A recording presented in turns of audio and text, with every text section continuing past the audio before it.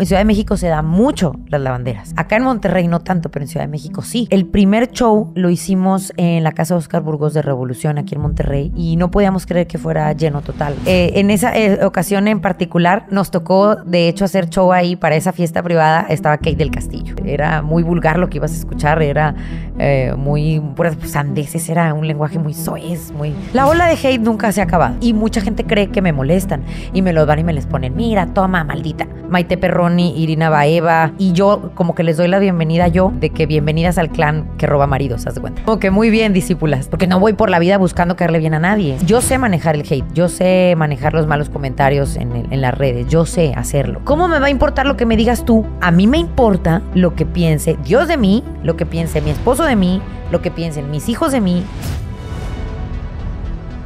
Hola, ¿qué tal a todos? Están en un episodio más de Gusgri Podcast y el día de hoy me encuentro con mi amiga Carla Panini. ¿Cómo estás? Hola, ¿cómo estás, Gusgri? Bien, gracias por la invitación, me da gusto. Panini, ¿por qué?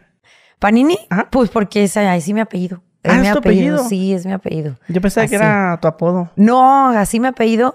Carla Ivette Panini Murillo. Este, mi papá, eh, bueno, el abuelito, el, el, papá de mi papá, que es mi abuelo, este, era italiano. Entonces, pues de ahí Panini. viene el Panini. Sí, ajá, es mi apellido, así mi apellido. Pero, pues muy, la gente me dice así. O sea, realmente es muy poca la gente que me dice Carla. O sea, casi toda la gente es pani, panini, pana, panita. Y muchas otras de Brayes que también hay. Ah, ok, sí. Me quedé pensando, usted dijiste panini italiano. Sí, una vez Sí. comí eso. ¿Un panini? ¿Qué, qué es siendo un panini? Pues, pues que es que es como un lonche, no, como un sándwich. Así los, así los venden. Como en el Starbucks, ¿no? Como el Starbucks, ándale así. Eh, y en Italia, pues es un apellido que, que no, es, no es común. En Italia los apellidos no se repiten. Haz de cuenta que no es como Martínez, como López, como Pérez. O sea, allá una sola familia se apellida Panini. Ah, Para todos los paninis. Ajá. Ok, de Monterrey eres. Bien regia, sí. Aquí súper naciste. regia. Nací en Monterrey, Nuevo León, el 21 de diciembre del 79, en La Conchita. Todo aquel que está en Monterrey, que escucha y que es de mi edad, nacimos todos en La Conchita. 44. Voy a cumplir 44. Este año, diciembre, 44. En diciembre. Sí, Ah, el bueno. 21, sí. ¿Y cómo te sientes? Súper chido, súper chido, me gusta, cada vez me gusta más cumplir más años. Yo siempre digo que a mí me importa mucho no engordar, pero envejecer me vale. ¿Por qué? Me cuido mucho de no engordar, más no de no envejecer. No sé, como que es más mi trip. O sea, muchas mujeres se cuidan de las dos cosas y yo la verdad es que me cuido mucho. A mí me gusta mucho más tener buen cuerpo que, que como, como, digo, me cuido mucho la cara, tengo, uso muchas cremas y todo lo que tú quieras, pero no es como un tema para mí envejecer, al contrario. O sea, no pasa nada. Si, si envejezco y me veo cada vez más viejita, no pasa nada. Siempre digo que me vea viejita, pero mamada. Eso está chido. Viejita bien musculosa. Eso está ah, chido. con madre, Carla. Sí. Oye, pues muchas gracias por aceptar la invitación. Este, No, a ti por estamos invitarme. Aquí a punto de empezar una plática con- contigo. Y, Muy bien, muchas Pues me gracias. gustaría que, que empezaras un poquillo ahí con la gente que no te conoce, ¿verdad? Debe haber una porción muy Pues, pequeña. Una por- Yo creo que está pequeñita la porción. Este, pues, ¿quién soy? Pues nada, soy una, a- hoy día ya una mamá, mujer regia, este, dedicada 100% a su familia ahorita. Estuve muchos años en los medios de comunicación, muchos, muchos. No sé ni cuántos decirte, perdí la cuenta, pero empecé desde el 2020. Empecé bien chavita ah, en los medios. súper 2000, chavita. 2020. Digo 2020. Ándale, mil, La- pandemia. 1999, 2000, en el 2000. En el perdón. 2000. sí, en el 2000. Ajá, empecé bien chiquita. ¿Empezaste qué? ¿Haciendo? Empecé haciendo radio. Fue lo primero que empecé haciendo. A lo mejor mucha gente no se acuerda de eso, pero eh, estaba trabajando en Planeta, en Monterrey, y tenía un programa de radio bien chido que se llamaba Las Reinas del Planeta, eh, con otra compañera más. Y fue algo padre porque fue algo que, que sí como que marcó aquí parteaguas en, en Monterrey, porque era un programa irreverente, era un programa, este, dos mujeres conduciendo y era... eh, pues dos mujeres atrevidas. No decíamos groserías porque en aquel tiempo en el radio no podías decir groserías, ni una sola. Te, te multaban, gobernación te, te ponía ahí como que una, una bandera ahí, ¿no? Amarilla y luego ya roja y era un multón. Entonces los mismos jefes te pedían que no, no dijeras groserías. Entonces no decíamos groserías, pero sí éramos, no albureras tampoco porque nunca me ha gustado el albur, pero este sí éramos como picaronas, como irreverentes, como... Por ejemplo, relaja- algo, algo que hablaban de que, ay, tú...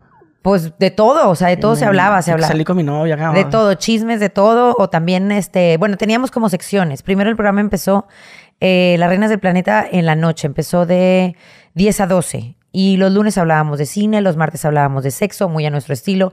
Los miércoles hablábamos de mm, cine, no, perdón, lunes de cine, martes de sexo, miércoles llevábamos a algún especialista de, de lo que fuera. Jueves era de, de antros por todos los antros. Era como andar hablando de todos los antros. Y viernes llegaba un DJ que estuviera eh, presentándose en la ciudad de Monterrey. Entonces lo presentábamos y luego nos invitaban a verlo. Entonces estaba padre porque íbamos de antro después del, del Ok, programa. dices que especialistas, pero ¿a qué te refieres con que invitar No sé, este, ginecólogos, cardiólogos, algún tema en específico, o sea, lo que fuera. Sí, e- eso es lo que yo, yo, por ejemplo, yo entrevisto también ese tipo de gente, ¿no? Como nutriólogos o que un doctor. Y mis títulos son como mi vida como doctor. Ándale. O mi vida como siendo este arquitecto. Bueno, acá nosotros más bien era un tema, eh, porque bueno, antes no existían los podcasts, pero pues es, es cabina de radio. Sí, sí, Para sí. mí así lo veo, es como una cabina de radio, también se platica así en privadito. Y era, no sé, cómo decirte un tema, este, no sé, eh, relaciones sexuales prematrimoniales. Invitábamos un... un Sexólogo, Un sexólogo o hasta un ginecólogo, o sea, es dependiendo del tema. Sí, sí. O no sé, este, el de la muerte y hablábamos de un con un doctor o, o hablábamos con un sacerdote o habla, o sea, había muchos temas, ¿no? Entonces, pero muy al estilo de nosotros, se posicionó chido, está- estábamos en muy buenos números de rating en Monterrey, tan es así que luego nos cambiaron mejor al morning show en la mañana de 6 a 10 de la mañana, o sea, ya no querían que estuviéramos en la noche y nos dieron Eh, eh, Esos, el eran, morning. esos eran programas chidos porque yo crecí escuchando eso. El día de hoy estamos- vamos a invitar a un arquitecto, vamos a invitar a una persona que trabaja en funerarias. De hecho, por- te mencionaba, ¿no? El podcast yo hago títulos así. Y, y mucha gente cree que a lo mejor mi podcast o otros que también hacen lo mismo que yo, no, pues sí, son muy pocos. eh, la nueva generación invita a profesionistas. Oye, güey, no, güey.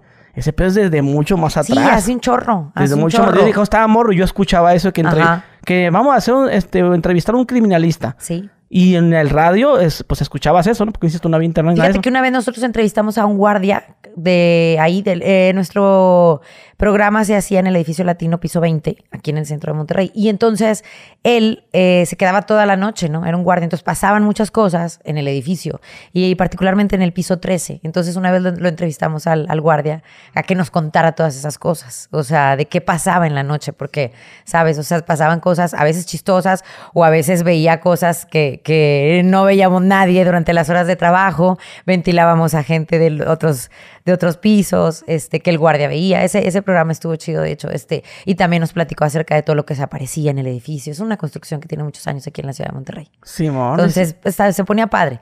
Y los viernes, este, te digo, teníamos un DJ invitado, entonces estaba padre porque ese DJ era el que iba a tocar, no sé, por ejemplo, en aquel tiempo se usaba el, el antro, el esquizo, la Habana, el coco, o sea, eran varios antros que estaban en la ciudad de Monterrey y ese, ese era como el DJ invitado y nosotros lo teníamos y luego después íbamos a, a- a la fiesta, ¿no? Íbamos a ir a verlo tocar. Entonces estaba padre, era un momento de, de mi vida chido, estaba, estaba bonito, me divertí, aprendí, me gustó, fue una etapa padre. ¿Cuántos años haciendo eso? Siete años. Siete años con ese Sí, programa. siete años, un- no, como unos seis años con el programa y después eh, mi amiga y compañera de radio se va a vivir a El Salvador, me quedo yo sola con el, con el programa, pero ya era mucha hora para mí y ya había empezado también a trabajar en Televisa. Entonces me pedí mi cambio porque era muy temprano para mí. Este, levantarme a las 5 de la mañana, que por cierto íbamos en pijama siempre a, a- a conducir el programa, pues porque nadie nos iba a ver y era radio.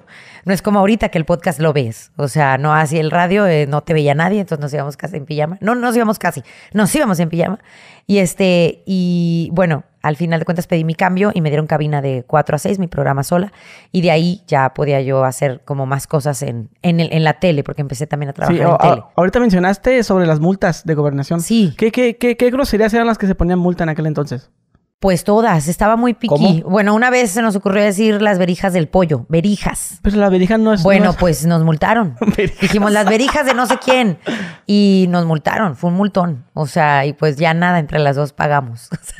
¿Cuánto? En aquel tiempo, cinco mil pesos. Mm, pero pues para un sueldo de locutora, tiempo. pues sí, no, sí, sí se no, pues era mi, di- Digo, mi ahora, sueldo. de ahora ya que era mi sueldo. Ahora, ahora ya que eres influencer, pues... ah, No, bueno, por eso, pero era, era, era mi sueldo en aquel entonces. Nos- nosotros Estaba también, chavita. a mí me desmonetizaron un video Ajá. porque no sé si sabes que la palabra, la- las, ya ves que las chavas tienen su esa plataforma azul donde Ah. venden su contenido del Sí, sí, O sí. fans, Sí, ¿no? ajá. Entonces esa palabra pues también está como que veta- poco? Sí, vetada.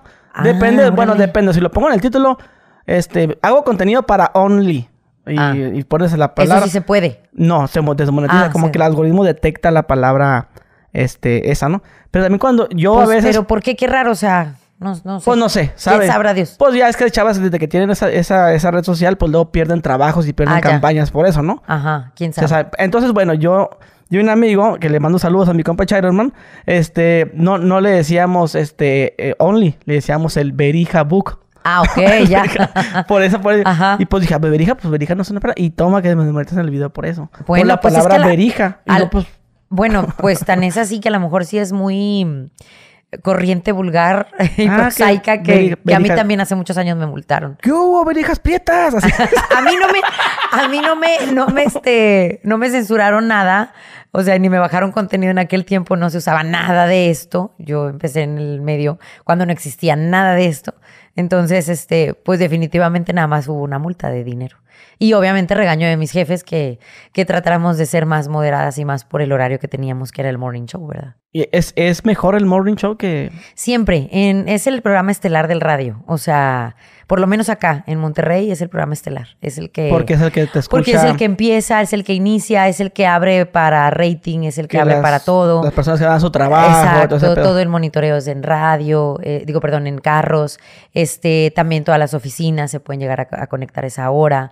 Eh, es es, eh, es el, el horario principal en radio. Aún creo que aún sigue siendo. Tengo rato de no hacer radio, pero creo que aún sigue siendo ese horario estelar. De hecho, la mayoría de los, noticieros están a esa hora. Son horarios estelares. Acá en Monterrey así es. Ah, Sí. ok. Entonces, siete años, este, bueno, eh, seis y luego siete y luego le brincas a la tele, Televisa, Sí. a hacer. Es que la tele era como a la par, el último año era como a la par. De hecho, pues eh, tuve que renunciar porque ya no me daba, ya no me daba la vida, porque el canal me empezó a exigir mucho. En Televisa, pues entré conduciendo un programa de chavos que querían hacerlo como tipo Telehit o MTV, pero era pues regio, no era local. Este, no nos jaló nada porque fue en sábado. En sábado cuando, ¿qué te digo? A las 6 de la tarde y aquí nuestra tierra es totalmente futbolera. Entonces, pues nadie te va a pelar. O sea, si tú quieres hacer un programa en sábado, tiene que ser de fútbol, no de otra cosa. Aquí o eres tigre o rayado o mueres en el intento y nadie te va a poner atención ese día, ni cuando haya un clásico, ni que entonces la verdad es que el programa va y se fue para abajo, fracasó.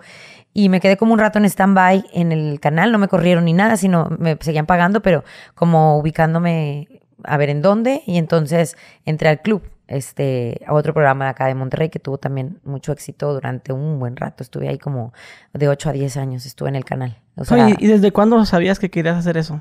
desde niña. Desde ¿Qué querías ser famosa? No, famosa qué. No, no, trabajar en los medios, trabajar en la tele.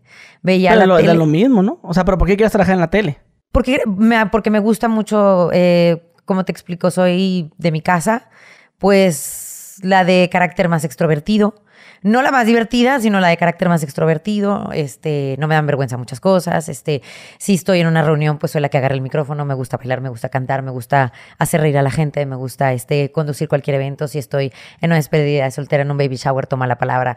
Eh, ya sabe toda mi familia. Me explico, o sea, más bien es como el que te gusta desenvolverte y no te no batallas para eso. Hay gente que no puede agarrar un micrófono, le da mucha vergüenza, o simplemente hablar en público le da mucha vergüenza, pues yo nunca fui eso, ¿no? O sea, nunca, nunca sentí esa vergüenza. ¿Desde qué edad?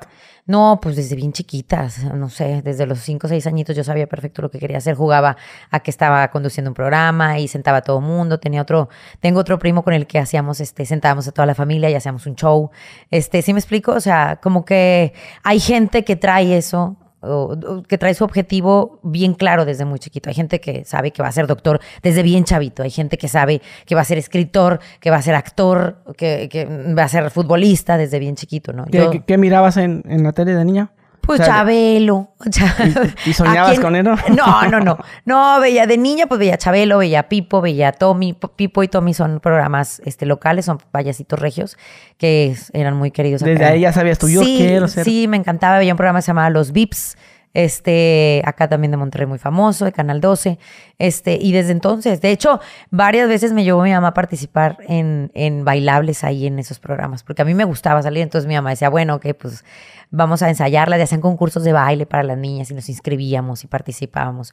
Y en todos los bailables de mi escuela salía y en todas las obras de teatro que se podía salía. Te digo, eso como que ya lo, ya lo trae uno, o sea, ya, ya sabes que, que eso es para ti.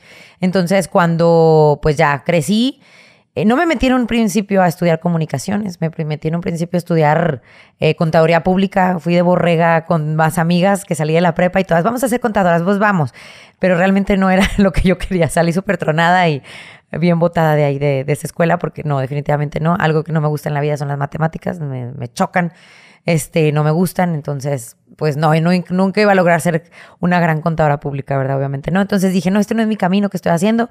Estuve como quiera, estuve un buen rato, estuve alrededor de unos cinco o seis meses ahí, pero luego me salí y dije, no, ya, ya no puedo esto. Entonces me entré a la Universidad de Montana a estudiar comunicación social. Este, y pues trabajando. ¿Pero sí te gustaba la, escuela? ¿No eras burra? No, cero. Siempre fui muy inteligente. Sí, sí, sí. Y tienes cara que seas bien rebelde. no, sabes que siempre he sido, este, relajante responsable. Y buena por los putazos. También. Ah, siempre he sido buena, relajante responsable. No, la verdad es que eh, siempre he sido muy divertida. Me gusta mucho tener muchas amistades. Me gusta mucho la fiesta. Me gusta mucho convivir. Pero siempre he sido muy responsable para, en el momento que de estudiar mis estudios, de trabajar el trabajo. Nunca he dejado un trabajo, este eh, vaya, a mí nunca me han corrido por irresponsable, ni mucho menos, este, ni por ser lío en el trabajo. Al contrario, este, y también mis calificaciones siempre han sido muy buenas porque, pues cuando estudié mi universidad me la pagaba yo, entonces estaba becada yo, entonces yo tenía que trabajar y estudiar, entonces, y pagar mi beca. Entonces, siempre me ha preocupado mucho. Mi escuela siempre ha sido así. Ah, con madre. Sí. Entonces, después le brincas ¿Después que estás en la tele? No, pues me quedo en la tele muchos años y ahí es cuando empieza el, programa del club que empezó a posicionarse muy fuerte aquí en Monterrey. Hice, hice varios personajes ahí. Este, y luego sale Lavanderas ahí también, y pues de ahí para arriba y ya. ¿Cómo, cómo, sale el, La lavanderas?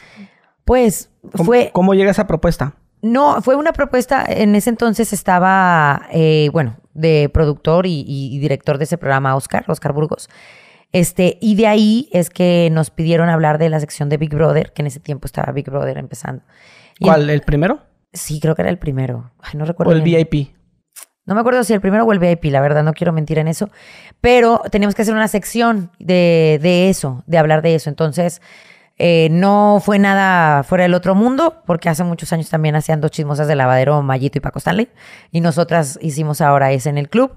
Entonces decíamos cosas de, de Big Brother, pero se empezó como a, a debrayar un poco porque no solo hablábamos de eso, sino hablábamos de, de todo lo que pasaba en el canal. Y entonces empezó a hacer mucho éxito porque se reía mucho la gente del staff del canal porque hablábamos de cosas que sucedían en el canal. Entonces, como que empezó a proyectarse hacia afuera esa diversión y empezó a jalar y empezó a jalar y empezó a jalar. Y entonces ya era echar carro, ya no era tanto hablar de Big Brother, sino echar carro entre nosotros, los conductores. De que están lavando. Sí, y, ventilar lo que hacía uno. Ah, pues como del audio, Sí, exacto. y que sí, y empezábamos a hablar y a ventilar y a echar carro de, de los de ventas y de las de recepción. Pero espontáneo. sí, muy, todo el tiempo era espontáneo, todo el tiempo era espontáneo. las dos. Sí, totalmente. Siempre era espontáneo y claro, o sea, nos decían que íbamos a mandar a cierta nota, ¿no? Pero luego, pues salíamos con, con ocurrencias cada una. Y, estaba, estaba padre, te digo, tan es así que la misma gente del canal, la misma gente del, de Televisa iba ahí al foro a, a morirse de la risa con nosotros ahí, este, fuera del aire o atrás no existía de cámaras. Lavanderas. Lavanderas como tal no, era, o sea, ya e, empezábamos a hacer como, pues estas dos viejas ahí de lavadero, ¿no? Y empezó como a debrayarse y empezó como a, a formarse ya ahora sí el nombre, a, a posicionarse. Pero la, la indumentaria. No, la indumentaria fue después que no estábamos como ubicadas en qué, queríamos ser, ¿no? Porque no éramos, no queremos ser como ni señoras, o sea, sabíamos que éramos señoras, pero a la vez no sabíamos cómo qué, y decíamos, bueno, nos ponemos el mandil, pero traemos tacones, pero no traemos tacones, o sea, ¿qué hacemos? Entonces, este, tenemos un, compañero ahí en el, en el, programa que él venía de, de una colonia acá que se llama Sierra Ventana, y, él es, está ruda. Está ruda, es una colonia ruda, pero él estaba trabajando con nosotros. Y él, bueno, empezó a decirnos, oye, pues, ¿por qué no son cholas? O sea, ah, pues órale, chido. Es una cultura padre acá de nuestra, de nuestra zona. Es una cultura bien padre. A mí, a mí me gusta mucho porque ellos tienen su propia moda, ellos tienen su propio estilo, su música y, su forma de hablar y está padre, es toda una cultura y la neta está, está chido acá en, nuestra, en nuestra región. Entonces empezamos a hacer cholas y nos empezó a ir muy bien a partir de que empezamos a tener como a formar, a formarle carácter, a formarle personalidad al personaje por válgame la redundancia, ¿no? O sea, empezó a tener personalidad y nos fuimos y nos compramos unos Converse y pantalones largos y todo tumbado y más aparte nuestro mandil, ¿no? Que es mandil siempre empezó desde el principio, sí hubo. ¿Y a los Converse que les, les, metieron desgaste? Fíjate que no, se fueron desgastando solos, pero sí hubo alguien que nos los grafiteó y nos grafitearon las bandas y traíamos bandas y este y los Converse grafiteados, o sea, todo se fue dando, todo se fue dando. Es como de esas veces que, que pasan las cosas, que fluyen sin, sin que se obliguen. Eso es cuando yo creo que empieza a ser un verdadero éxito, porque todo empezó a fluir, todo empezó a fluir. ¿A, tu compañera dónde la conoces? De, en Canal. Ahí en el canal, sí. En el canal empezamos a trabajar juntas. Hacíamos mucho match, hacíamos mucha química. Eh, no empezamos juntas a trabajar porque ella estaba en el área de noticias, del clima, y yo estaba en el área de producción y de, de, programas de entretenimiento. Entonces, pero en los pasillos nos saludábamos, nos caíamos bien, nos llevábamos mucho. Y durante, no sé si había fiestas en el canal o, o posadas o lo que fuera, eh, nos juntábamos mucho, hacíamos relajo, bailábamos y agarrábamos micrófono y ya sabes, empezábamos a hacer el relajo ahí en las fiestas del canal. Entonces, de ahí empezó eh, a, que, bueno, pues la misma gente del canal nos ubicaba mucho juntas y después como hubo oportunidad de que ella se saliera, ella pidió salirse de, noticias del clima para entrar al eh, entretenimiento en el canal. Bueno, pues hubo una oportunidad y entró al, programa del club y de ahí es cuando surge ya ahora sí la... Pero el primero que fueron las cholas. No, no, nos llamamos las lavanderas ah, siempre, solo que era el personaje como cholas. Ok. ¿Y tú para darle vida a ese personaje, qué, qué, qué hacías? ¿Dónde te basabas? No, pues realmente es que era más bien como la forma de hablar, porque... ¿En dónde lo mirabas eso? No, nos llevaron a una chavita, este, este chavo que tengo que trabajar con nosotros, este, que vivía ahí en Sierra Ventana, nos llevó una amiga de él y nos decía, miren, hablen así como ella y hagan eso. Digo, tampoco es que nosotros fuéramos muy fresas, claro que no. O sea, la neta no. Tampoco veníamos como que de una colonia súper privada y no, no, no, o sea... También eran acá. Sí, tanto, ella, tanto ella como yo éramos de barrio y, y la verdad es que pues no se nos dificultó nada y empezamos a hablar pues como cholas, de hacer como cholas, como las señoras de esa, sí, de, de, de esas colonias. Y, nos empezó a gustar mucho. Y hicimos mucho match con la gente y estuvo padre porque surgió, como te digo, algo que, que no esperábamos que fuera algo tan, un boom tan grande, ¿no? y eso de lavanderas es porque en... Porque estábamos en el lavadero, o sea, lavando ropa. Y disque. no sabes que la comadre. Sí, disque lavando, pero pues realmente no lavamos nada, obviamente. Pero originalmente este eso, eso se da mucho, por ejemplo, en las ciudades grandes, eh, Fíjate como que Ciudad de México, en Ciudad de México, las azoteas. Cuando llegamos a, con el concepto de Ciudad de México, también este, lo entendieron mucho y lo abrazaron mucho, lo acogieron mucho, porque allá se da, en Ciudad de México se da mucho las lavanderas. Acá en Monterrey no tanto, pero en Ciudad de México sí. En Ciudad de México sí se da mucho esa, esa gente que son las lavanderas que están lavando en la azotea. De hecho, por eso el, el concepto en Telehit era que estuviéramos en una azotea. La lavandería estaba en la azotea. Eh, en Telehit, ¿no? De hecho, en el intro decía ahí, bienvenidos porque están en la azotea, en la lavandería, tal, tal, tal, con las lavanderas.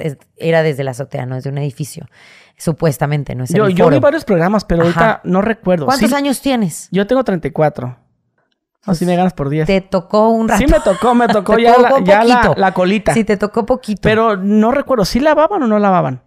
No, pues que vamos a andar lavando ropa, nada, no, era pura. No, pero era una pantalla verde. Sí, bueno, no, no era una pantalla verde, había un foro atrás hecho, o sea, era, era este, los tendederos y todo estaba hecho. Sí, pero, pero, cuando agarrabas, o sea, eso es lo que trato de acordarme. Ajá. Sí, sí, sí, le hacían a la mamá con ah, una. No, no, no, nada más, no había agua, no había nada, le hacíamos la finta, obviamente, sí, no, no, no, hacíamos la finta, tenemos un mundo de ropa siempre. Que ese mundo de ropa entre utileros y gente ahí del staff de Telehit, pues fue llevando garras y cosas que ya no querían y luego fueron a comprar un mercado de, segunda mano y nos lo echaban y todo. Y, y de pronto también nosotros llegábamos con, con ropa y echábamos ropa que. No se aprovechaban para lavar pues, ¿no? no, nunca lavamos nada, la verdad. No, nunca lavamos nada. ok, y ahí, este, bueno, ¿qué año es eso? ¿Cuándo empieza? Eso será como el 2008, yo creo, por ahí. 2008. 2008, más o menos. ¿Y el madrazo? No, pues es que. Ya. ya, desde. Sabes que el, eh, el primer show lo hicimos en la casa de Oscar Burgos de Revolución, aquí en Monterrey, y no podíamos creer que fuera lleno total. O sea, fue nuestro primer show y fue lleno, lleno, súper lleno total. Y creo que ahí fue cuando entendimos que esto era un, un fregadazo, que íbamos a dar un fregadazo. Y empezaron ¿Ustedes no se daban cuenta todavía? No, empezaron a contratarnos eh, baby showers, despedidas de soltera aquí en Monterrey pero no nos, no nos íbamos a dar cuenta hasta tiempo después lo que iba a ocurrir, que ya era después irnos a Telehit, o sea, una llamada del señor Memo El Bosque que nos quería para parte del elenco de Telehit porque tenía esa barra de comedia. Este, en ese entonces nada más estaba, creo, la guerra de chistes. Este, Pero les bajaron la chamba. Fíjate que no, la verdad es que un rato, eh, pues sí estuvimos muy fuerte, pero nos, nos eh, contrataban mucho juntos. La realidad es que hacían como a veces sí nos contrataban mucho juntos a la guerra chiste a nosotros, pero luego también sí, sí, no, sí, sí bajamos mucho chambas de, mucha gente.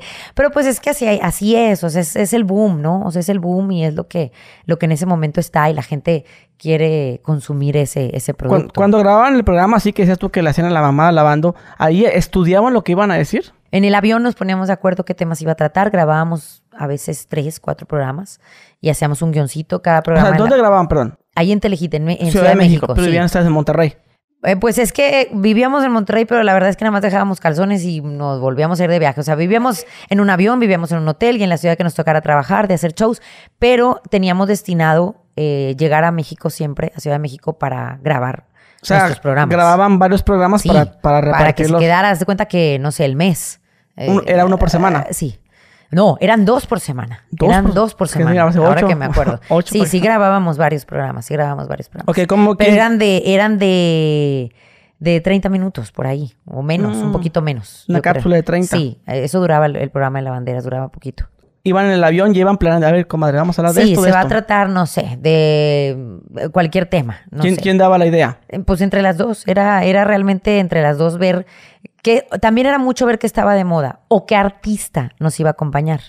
Eh, era mucho más fácil cuando iban artistas, este, ya sabes, gruperos, que cuando iban poperos, porque los poperos eran medio fresones. no, eh, sí, sí, no, no querían participar mucho, nos tenían como miedo. La verdad es que había como mucho miedo para ir a la banderas, porque pues sabían que íbamos a bromear, que nos los íbamos a madrear, que iba a haber chascarrillos, que iba a, pues sí, de todo. O sea que, pero los que eh, estaba más digerible eran con los gruperos. Los gruperos, este, como que se prestaban más. Por ejemplo, si iba, fue la banda del recodo una vez, fue la arrolladora una vez y nos la pasamos increíble. O sea, porque había como más química porque el grupero es más, es más este relajado en eso. Y el popero siempre quiere guardar esa postura, sí, de soy artista. Y entonces no, no, no, no me Vengo a hablar de mi disco. Sí, exacto. no me quiero dejar madrear. Algunos no, algunos sí participaban bien padre en la historia.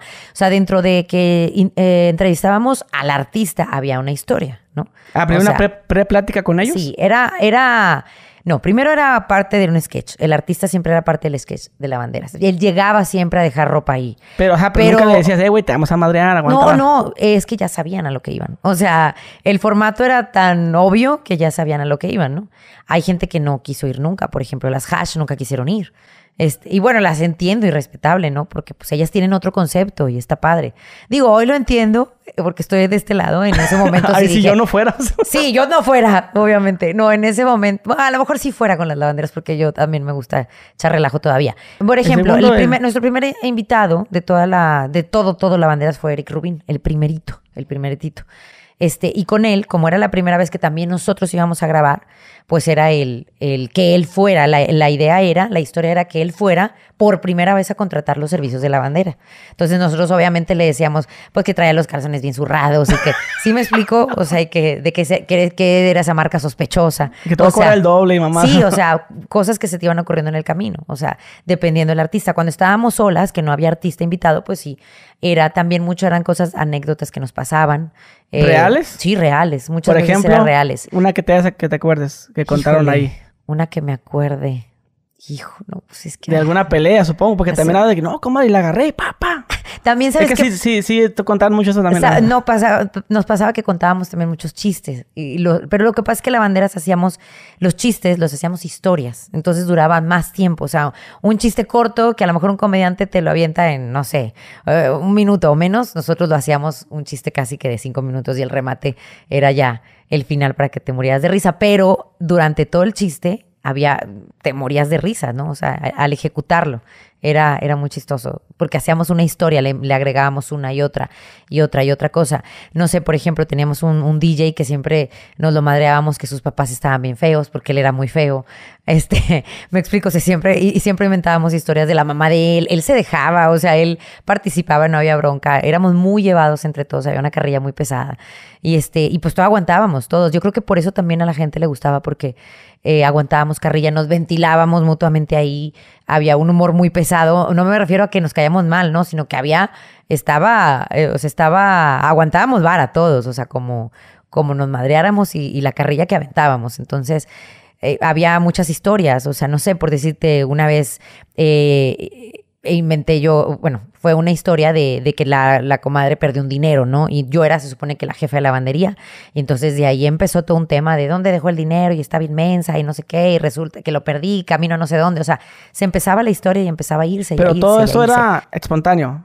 Lo, lo escribíamos, o sea, era como la idea central, pero era como solo una idea central. Y ahí en mismo, en el programa, en la grabación, ahí era cuando fluía. Pero es cuando vale madre porque tú escribes algo y de ahí se te borra el cassette. Sí, pero la bandera sí, pero pasa, así sí, pasa, ¿no? De, verga, Sí, también teníamos en, en, en- ¿Puedes decir esa palabra en tu Sí. podcast? Todo lo que quieras. me espanté porque yo nunca la digo. Puedes decir. Este, no, no me espanta que la digas, me espanta que la digas en el podcast. No hay pedo. Ah, bueno, muy bien. Este, Ahora sí, ahora sí déjamelo como hablo. No, no, no. No, tengo rato de no decir tanta grosería, pero luego ese es otro tema. Este, Ah, no. Sí, tengo, tengo rato. No, no, pero te digo, ese es otro tema. No que no las diga de pronto cuando me enojo y no que, no que me moleste escucharlas. No, no pasa nada. Soy regia y los regios hablamos bien pesado y bien golpeado y a casi pura grosería. Pero bueno, más bien tiene que ver con algo de ser más en la onda de mamá y de la fe que profeso hoy, más bien es, es por ese tema. Este, pero bueno, el punto es que, eh, te digo, de ahí surgía inclusive los chistes, el show de lavanderas, sí había un libreto, había eh, una pauta, ¿no? Que íbamos a seguir de los chistes que íbamos a contar, pero obviamente cada chiste había mucha espontaneidad, mucha, y depende de la ciudad en el que estábamos, en la que estábamos, dependiendo también había mucha madreada para el público. Este, hay público que se prestaba, entonces cuando el público se prestaba era increíble el show, la gente terminaba muriendo de risa con dolor de estómago. Este, hay público que estaba más, más difícil, entonces teníamos que nada más valernos de nuestro, de nuestro show, de nuestros chistes. Hay público que a veces, o sea, había gente que te contrataba y no sé, eran, una vez fuimos, me acuerdo, a una casa y había ocho personas, ocho personas. Era una zona muy ricachona de Los Ángeles y nos contrataron allá y allá fuimos a dar. Y era, estábamos en una sala dando show para ocho personas.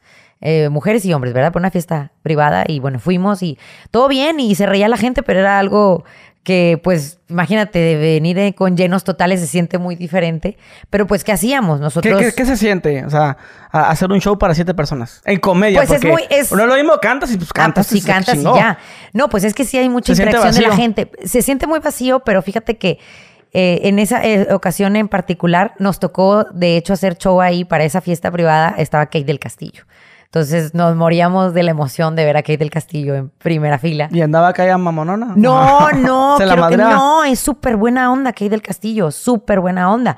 No, sí, nos la madreamos mucho y, y- y también, bueno, a la gente que estaba ahí, este, y- pero es buena gente, Kate del- súper relajada, o sea, lejos de lo que se pueda pensar y pueda creer, súper buena onda y estaba muerta de la risa. Entonces también, cuando estás tan cerca del público o tan íntimo, pues también la madreada también está padre. Y ya no, y ya no tiene de otra la gente porque pues estás ahí. Entonces, o te, o te aclimatas o te aguantas, o sea, porque ya estás ahí. Pero aventamos obviamente nuestros chistes que traemos ya planeados. Aún así sale mucho, mucha espontaneidad, aunque ya haya un libreto. Nos tocó trabajar, uy, para mucha gente, para, para mucha gente también pesada, que igual no nos escuchaba, nada más era pagar nuestro show.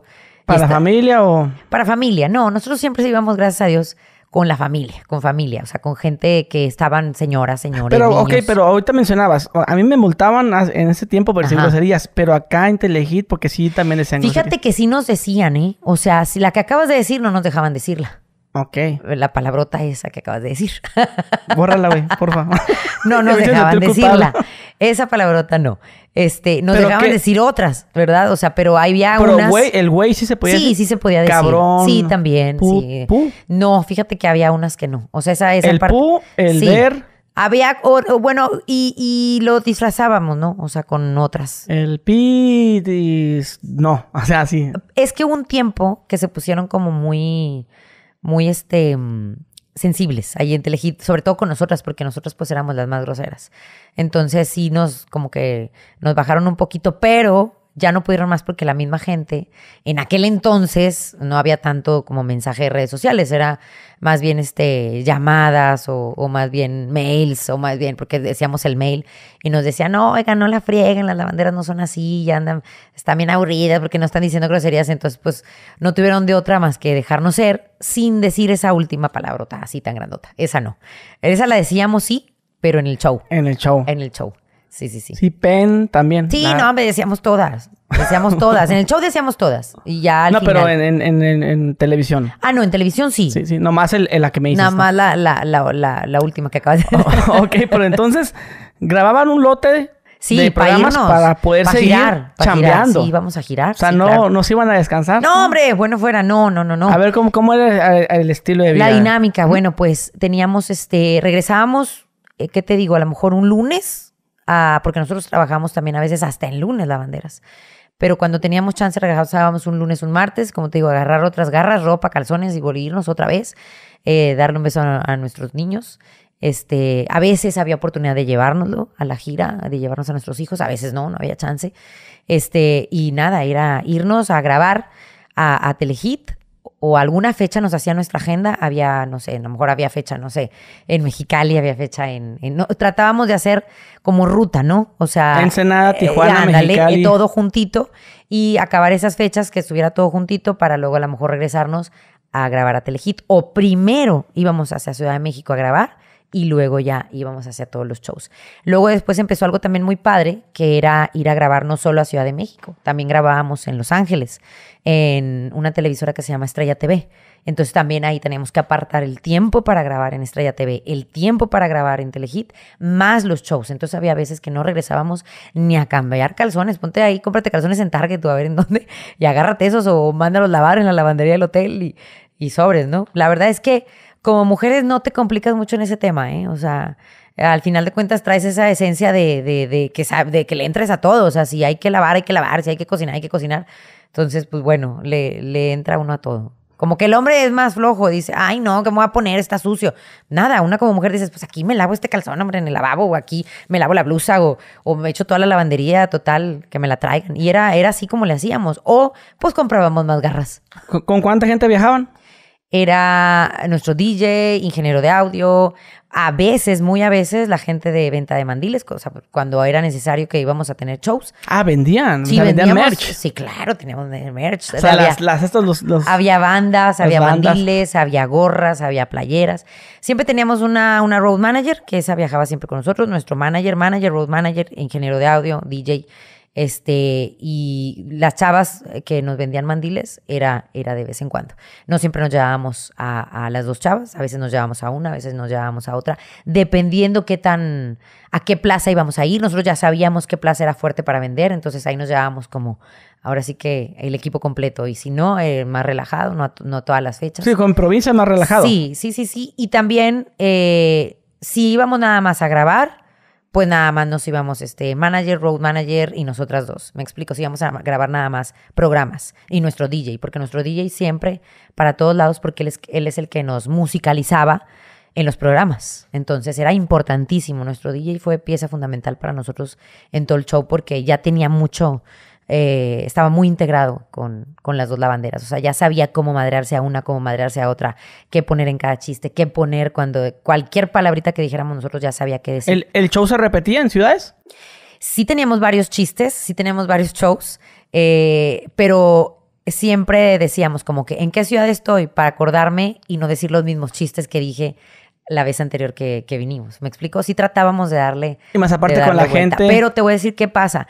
Nosotros como, como comediantes en aquel tiempo, o la gente que, que hace shows, no me dejará mentir, que sigue haciendo comedia, eh, realmente la gente no se acuerda, a menos que sea muy fan de tu show y que te fue a ver, te ha ido a ver a todos, sabe que estás contando el mismo chiste. Pero si tú me vas a ver y, y fuiste hace un año a ver mi show, tú no te vas a acordar del chiste que dije. O sea, es rarísimo que alguien se acuerde. Entonces, te puedes aventar los mismos chistes, la misma rutina, no pasa nada. Nosotros sí queríamos darle variedad y siempre había variedad en lavanderas porque aparte también cada show era muy diferente, como te digo, por la gente. O sea, el público para nosotros era muy importante. Porque del público salía mucha madreada y de ahí salía muchísimo material para estarte riendo durante dos horas que duraba nuestro... Dos horas. Casi dos horas duraba nuestro show. Normalmente, ¿a qué hora se terminaba? Depende a qué horas empezábamos. Había veces que empezábamos 10 de la noche. O sea, depende de la plaza donde estábamos. Había veces que empezábamos a las 12 de la noche si era un antro. O sea, es dependiendo de dónde estuviéramos. Era, era el horario. Estuvimos aquí en el Domo, en nuestra ciudad de Monterrey, en el Domo Cari. Y, este, y le dimos casi hasta las 3 de la mañana. Eh, de empezar, no sé, 12 eh, de la noche o a veces hasta las 11. O sea, era como nos sentíamos y la verdad es que cuando uno está sintiendo bien padre el público, le das y le das y le das y le das. Y sí traíamos muchos chistes, o sea, ya era un momento de nuestra carrera que sí teníamos ya como muchos chistes armados, muchas madreadas eh, armadas, mucha interacción entre las dos armadas, entonces podíamos aventarnos fácil un show de dos, tres horas, no había problema. Y también aparte entre una y una ya aventábamos canciones y bailes, bailábamos mucho entre cada chiste. Este, hacíamos cortes de chistes bailando, haciendo, hacíamos concurso, el concurso del Twister, que era, a nosotros le decíamos el Twister porque en aquel tiempo eh, salió apenas el Twitter. Fue lo primero que salió de red social con nosotros. Fue lo primero que nos verificaron nuestro Twitter hace años, o sea, este, y entonces teníamos, teníamos una botarga del Twister que llegaba al foro de lavanderas. No lo, no lo viajábamos porque era difícil viajarlo, porque estaba muy grandote. Eh, hicimos la botarga del Twister, que así le decían las lavanderas y salía el Twitter o el Twitter y era cuando leíamos todos los mensajes de la gente de Twitter. O sea, en ese entonces, en el celular, y pues que fulanita manda saludos, y ya sabes, le inventábamos la mamá y le decíamos mil cosas en el mensaje, y la gente le gustaba eso, la gente mandaba su mensaje en el, en el Twitter para que le inventáramos la mamá, y salía la botarga y lo que hacíamos era bailar el Twitter, había canción del Twitter, este, y golpeábamos a la botarga del Twitter y lo hacíamos como queríamos, y le hacíamos bolita, y era, era puro relajo, la verdad, era puro relajo hacer la bandera. No salía ahí un ofendido. Pues ahí en el foro no, sabía todo el mundo a lo que iba. No, no, ahí en el foro no, había gente del staff, del público que llegaba a vernos, este, y gente de, la producción de nosotros que no, no, nadie se ofendía, sabían perfectamente a lo que iba. ¿O el público en un show? ¿Qué, pasa el pelón que vaya? Fíjate que no, siempre nos pasó que en la bandera del público la bandera era muy Em, ¿cómo te puedo decir? O sea, iba, iba listo a divertirse. O sea, tenía muchas ganas de reírse. Tenía muchas ganas de ir a vernos. No eran delicados como ahorita. No, es que, es que hoy, es que hoy en día. ¿Sabes qué? En, en Tijuana hay un comediante que hicieron una madreada con él, que está allá el pelón, para... y se molestó y ya no andaba. Pero resulta que era malandro el güey. Te voy a decir que yo creo, sin temor a equivocarme, que la bandera no tendría tanto éxito ahorita. No. No, yo creo que es, híjole, ahorita la gente es muy sensible en muchas cosas y en muchos temas. Y se me hace que no, se me hace que ya estaríamos muy demandadas y muy vetadas de muchos lados, honestamente. no. O cualquier cosita. O a lo mejor tendríamos que haber cambiado el concepto y ya no hubiera estado tan chido, ¿sabes? Porque no nació así. Este, no nació, la bandera no nació midiéndose la boca. O sea, era. ¿Se sentían cómodos haciendo el show ustedes? Siempre. Siempre, no había una sola vez que no griego. Claro, cada quien traía a veces sus, broncas familiares o lo que fuera, pero estando en el show era, era magia y era estar al 100 y nos moríamos de risa. Estaba, nos moríamos de risa tanto nosotras. Yo creo que por eso eh, permeábamos tanto con el público y hacíamos tanto, tanto clic con el público, porque nos estábamos divirtiendo nosotras también.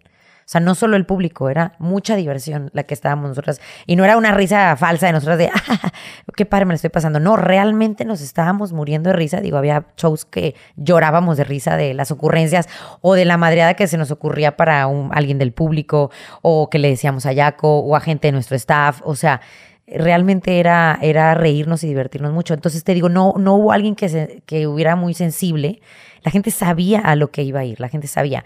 En Los Ángeles fue a vernos Jenny, la primera vez que nos fue a ver Jenny Rivera, y estábamos muy emocionadas porque este, no podíamos creer que nos hubiera ido a ver Jenny Rivera. Entonces, este, a Jenny nos la madreamos también en el primer show. O sea, y le decíamos después que, que con todo respeto, ¿verdad? Pero, y que estábamos muy nerviosas, que estábamos muertas de risa y que nos encantaba que fuera a vernos, pero pues que nos le íbamos a madrear como quiera. pero al final le decíamos, para Jenny, mis respetos, pero como quiera nos la habíamos madreado.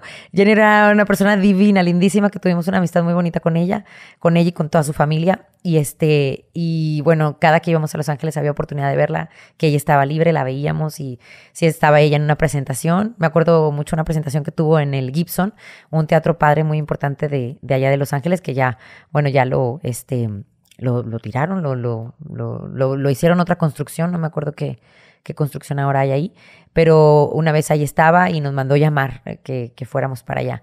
También estuvimos participando con ella, en abriéndole un, show de ella y en lo que se cambiaba, este, nos dejaba eh, estar con su público vestida de lavanderas para, eh, para amenizar ahí a la gente un ratito y les contábamos chistes en lo que ella se cambiaba de vestuario y era su siguiente presentación ahí. Estaba muy padre, la verdad, fue muy padre también conocer a Jenny. Conocimos muchos artistas, conocimos al Buki, en el Buki, divina persona también, bien chido.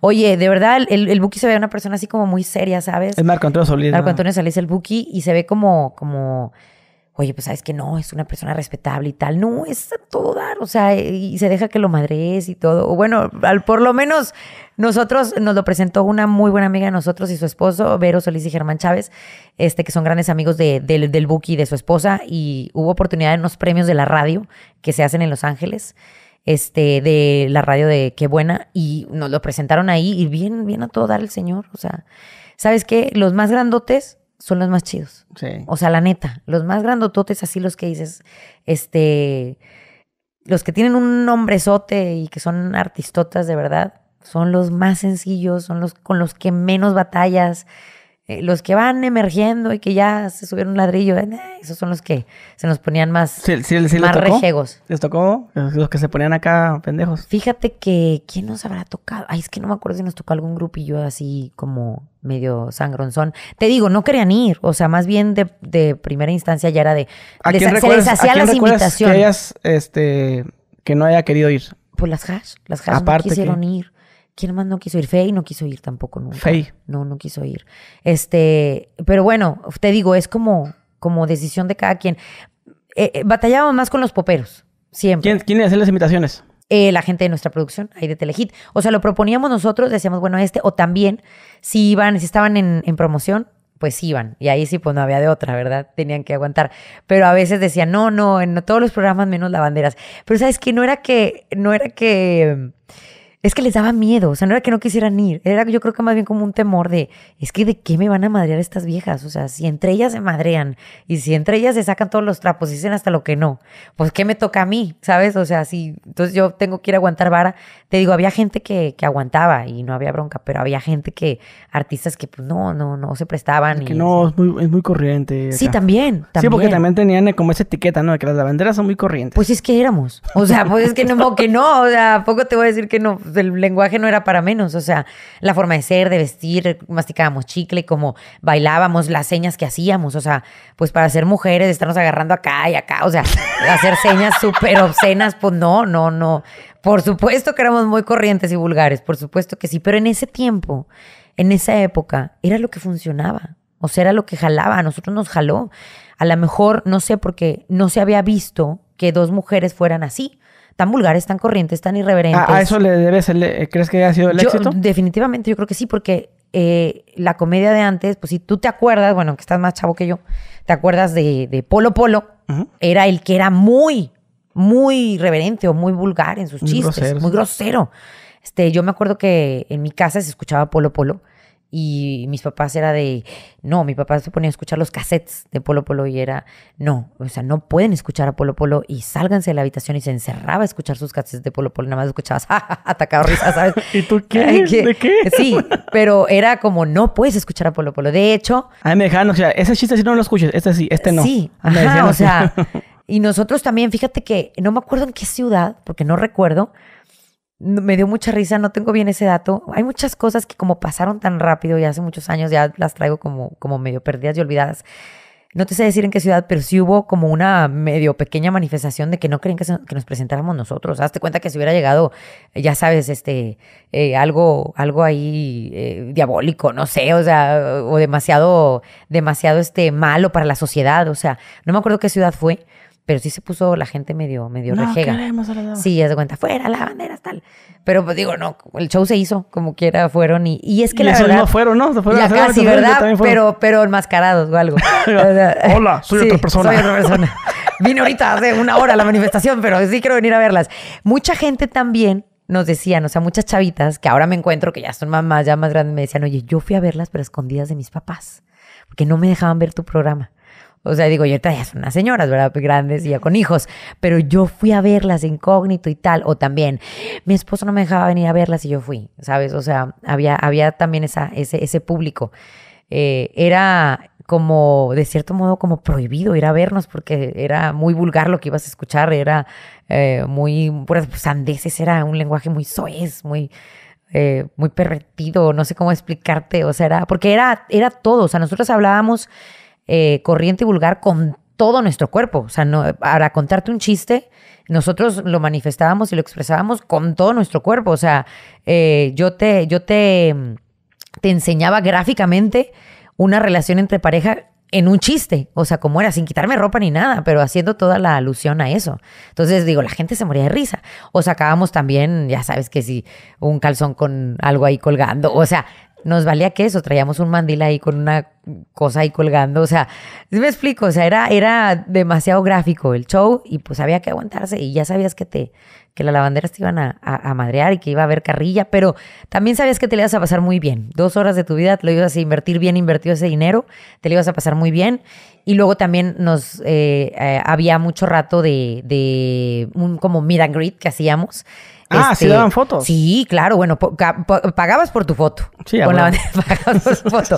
Pero estaba padre porque no era como, bueno, ya rápido, o sea, eh, platicábamos si, si había oportunidad. Había mucha gente que con mi celular, por favor, dile a mi papá que ti, ti, ti, ti, ti. Y ahí estábamos nosotros mentando. Dando autógrafos y Sí, todo el pedo. autógrafos a, a los, a los mandiles, a gorras, a playeras y a, a este, a, a grabábamos videos. Pero metían un putero de gente ustedes a la verga, ¿no? Sí, sí, metíamos mucha gente. Machina, a sí. cualquier lugar que iban a de volar, ¿no? Fíjate que nos impactaba mucho a mí, sobre todo me impactaba mucho ir a Tijuana. Cada que íbamos a Tijuana, Dos a fechas, la ¿no? plaza de Tijuana, no, a veces hasta tres y eran, entre, no sé, creo que le caben ocho mil personas Ujú, ahí. Sí.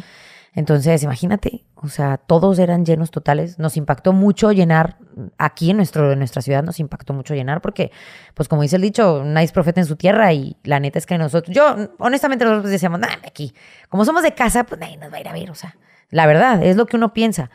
Pero decíamos, wow, qué padre, estuvimos también trabajando, que también fue algo que me impactó, en el Nokia.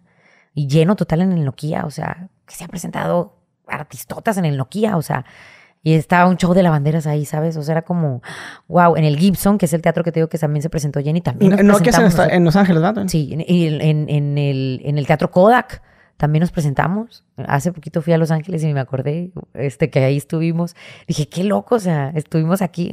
Te digo, era, no sé, o sea, como que se nos abrieron muchas puertas. Hubo muchas puertas para el proyecto de lavanderas, para el concepto de lavanderas, hubo muchas puertas y, y de no creerse, o sea, y había mucha gente que nos veía, muchos artistas sabían quiénes éramos. Y creo que también de todas las clases sociales y había muchos políticos que nos conocíamos, nos conocía gente de súper culta, sabía quién éramos, o sea, como que fue un fenómeno realmente que ocurrió. Es lo que te digo, era como increíble ver que dos mujeres chiquititas de este dijeran tanta bola de babosadas en tan Pero poquito tam- también le, tiempo. le- le trabajaron a eh, políticos en privado. No, fíjate que, bueno, para campaña sí hab- había, pero en privado no, no, no, no. no. Nomás acá los malandros. Sí, pero te digo, muy tranquilo con ellos, de hecho, súper bien, porque a nosotros nunca nos pasó nada. Pero con mucho respeto. Aquí, por allá, por por Matamoros, todos lados. Culiacán. Nosotros andábamos por todos lados, jalando para todos, para toda la raza. Este, pero eran eventos familiares, porque nos querían ver, pues, las señoras, o sea, las mujeres de ellos, ¿verdad? Entonces, ya había muchos niños, ya, o sea, nosotros decíamos cuando llegábamos, oigan, hay muchos niños, no importa, no, dale, no importa, bueno, pues vámonos. O sea, fierro, como dicen ustedes, vámonos tendidos, pues bueno, no les importa, pues bueno, no son mis hijos, pues dale, ¿sí me explico? Sí, pasa. Entonces, este, pero sí, no, no, con nosotros bien, o sea, la verdad es que siempre se portaba bien la, la raza, nunca, nunca hubo nada, nada grave ni nada malo. Y, sabes qué, yo creo que tenía mucho que ver el personaje, o sea, porque no era un personaje sexoso.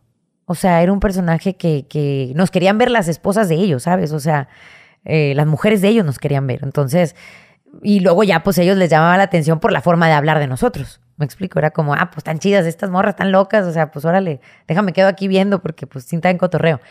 Este, ya era como, como agarrar todos los públicos, por lo que te digo, porque no, pues llegábamos con nuestro personaje ya disfrazadas, este, ya a todos lados, así, era, de hecho, se sorprendía la gente cuando nos veía de que, ah, órale, ustedes son las lavanderas, oye, no están tan gachas, o sea, sí se bañan, sí me explico, o sea, cuando de pronto nos encontraba alguien en el aeropuerto, o porque antes casi no nos gustaba quitarnos el personaje, como para que no se perdiera esa magia. Ya luego, después era, a veces se nos iba la onda. Ah, o sea que... ah, ah, En un principio como que cuidábamos mucho eso, ya después ya no, ya después ya como que ya no, ya nos valió, porque ya era muy imposible andar por todos lados, o sea, con, con el personaje, ¿sabes cómo? O sea, pues no, estaba, estaba medio difícil. o sea que te, entonces- te ver visto, visto en el aeropuerto así, caracterizada. No, no, pues ya en el aeropuerto no, obviamente, Ah, ok. pero sí había gente que, que sí dudaba en un principio como que, ay, sí serán las lavanderas, porque se ven bien diferentes, o sea, porque pues ya arregladas o bañadas o peinadas o de mucho como, lente. como las de las maquilas, ¿no? Cuando van en la posada. Ándale. Ándale, así era. Era ver a tu tía la- o sea, la- bien arreglada. O sea, se cuenta que primero toda fachosa así y ahora ya sí bien arreglada. O sea, era, era muy diferente vernos a lo mejor. Mucha gente se acaba de onda, ¿qué, onda? O sea, Sí, pero aparte, mira, cuando se apagaba el micrófono, ya ustedes volvían a su, a su lenguaje normal, por así decirlo. O ya se que- les quedó a la verga. Se lo- sí se les quedó. Fíjate porque que- es que también cuando interpretas un personaje es que se te queda. Sí, parte. sí. Yo, yo sí, yo sí, sí, sí batallaba mucho para quitarme el personaje en un principio. Este, pero también sí éramos muy, pues es que somos regias. O sea, éramos muy mal habladas también. O sea, no era como que éramos muy finitas para hablar sin el personaje. Por eso te digo, no era, no era batallar No, hacerlo. No era batallar hacerlo. Eh, obviamente no todo el día estábamos diciendo mil sonceras como decíamos, ¿verdad? Pero pues sí nos divertíamos mucho, sí hablábamos mucho así como, como en el show. Y también las personalidades, pues eran, éramos muy, muy similares, ¿no? A, a- a las de los personajes. Entonces estaba, estaba O sea que cuando te encontraba alguien en la calle no te decía, "Mm, yo pensé que eras más acelerada. Porque pasa cuando hay personajes muy así, muy irreverentes, pero en la vida real ya son bien calladitos. Sí, Y, sí, y sí. la gente que- luego, luego dice, no mames, bien serio, bien mamón, güey. Sí. Y ya con, con todo el Fíjate que changar- yo era como más seria. Eh, Yo era más seria de, de mis, de las dos, ¿no? Era más seriezona yo. Este, con, como que con el público o así. Era más seriezona. Este, y, y- pero no que fuera sangrona, sino que, ¿sabes qué me pasaba a mí? Que yo estaba como, como cansada, estaba como cansadona, o sea, era lo que tenía. Era, estaba cansada porque había muchos shows y entonces yo decía, bueno, mejor descanso, mejor me, me, me aparto un poquito para, pues, hablar con mis papás o hablar con mi hijo, saberlo, o sea, me, me, me, me salía un poquito de lo que era el show, o sea, de lo que era el, el- la onda del trabajo. Pero no era por sangrona, era más bien porque yo, yo estaba, estaba cansada, me sentía cansada a veces y decía, bueno, mejor descanso, mejor me, me tranquilizo un ratito. Sí, es una vida bien ajetreada, la de andar para allá, para acá, te ajetrea mucho. te ¿Cuánto, tiempo duraste sin ver a así, por ejemplo, tu familia? Pues ¿Que te duramos a veces un mes, Un mes, sí, a veces un mes, eh, mes y medio de gira. Casi, casi todos los días trabajando. Sí, hubo una época de lavanderas que así era, ¿eh? O sea, de lunes a domingo. No había, no había fin, no había fin. Y, pero está bien porque era el momento de hacerlo. Era la demanda, era el momento. Después eso iba a bajar, eso iba a pasar. Entonces, O sea, ustedes estaban conscientes. era el sí, todo el tiempo. "Es que mejor hay Sí. que agarrar lo que se puede del pastel. Sí, ahorita. Era el momento de hacerlo y siempre fuimos muy conscientes de que era el tiempo y había que, ¿Y, y eras feliz? jalar.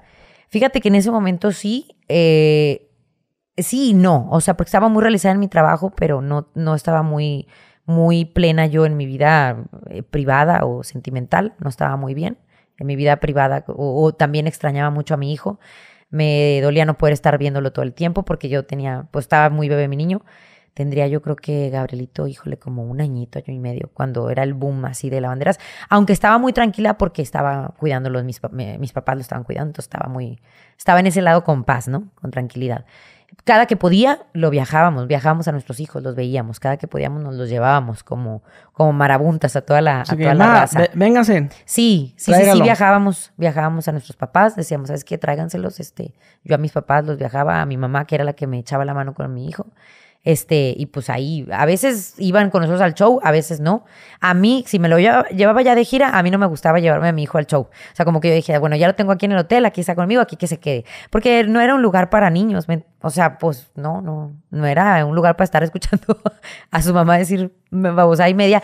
Y también mucho, nos tocaba mucho trabajar en antros, entonces como eran antros, pues tampoco es un, un lugar para que estén los niños. Había veces que era, que era teatros o era, este, eh, no sé, explanadas, era una onda más, más relajadita para un niño, pues bueno, va y me lo llevaba. O que hubiera un camerino a gusto, que estuviera cómodo, me lo llevaba. Pero si íbamos a andar del tingo al tango y ya sabes, de un show a otro y no, no. Pero salen- saliendo del show, ¿se iban así como a un café, a un bar o salían directito a descansar? No, no, a descansar, hermano, no. Sale- ¿Qué va a compadre? No, no. Sale mi gente, nos vemos. Adiós. A la camioneta No, a la vamos. camioneta. Es que nosotros teníamos vuelos. No, no, nosotros no éramos de andar ni en fiestas, ni en Es que yo, ni en antros. yo ni- digo, yo también soy medio, no sé, aburrido, por así decirlo, también si, si por ejemplo, ganar una entrevista, pues ya, a dormir. Ajá. A otros güeyes que piensan que, que van a hacer entrevistas y luego se van a un bar. No. O van a, se presentan en una ciudad. Y de ahí te quedas al antro. No, y al antro, no, hombre. No, nosotros no teníamos tiempo ni de conocer la ciudad. Teníamos, conocíamos el aeropuerto. El aeropuerto, Si carretera, bien te hotel. va, sí, adiós, el aeropuerto y a lo mejor si había chance de conocer alguna tiendilla o algo ahí leve, vámonos. Pero, por ejemplo, si nos tocaba estar en Mazatlán, bueno, sí nos daban chance de, oye, un ratito en la playa, ¿verdad? Este, nada más para estar ahí, para mojar los- las patas, mojar los pies. Pero este, si había oportunidad, bueno, lo hacíamos. Pero si no, no, ni modo. Y no hay falla, ya lo que sigue. No, nunca andábamos de antro, ni de, ni de fiesta, ni de ni ganas, no, hombre. Lo que queríamos era estar en el hotel y descansar.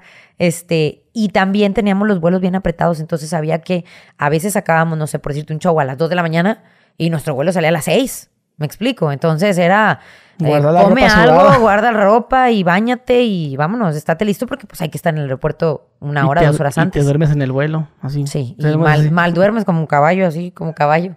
Y bien, con, bien, con lentes. No, en ese tiempo no usaba el cubrebocas, pero hubiera estado chido porque yo creo que mucha gente nos debe haber capturado con la bocota toda abierta, pues hubiera estado chido traer cubrebocas ahí.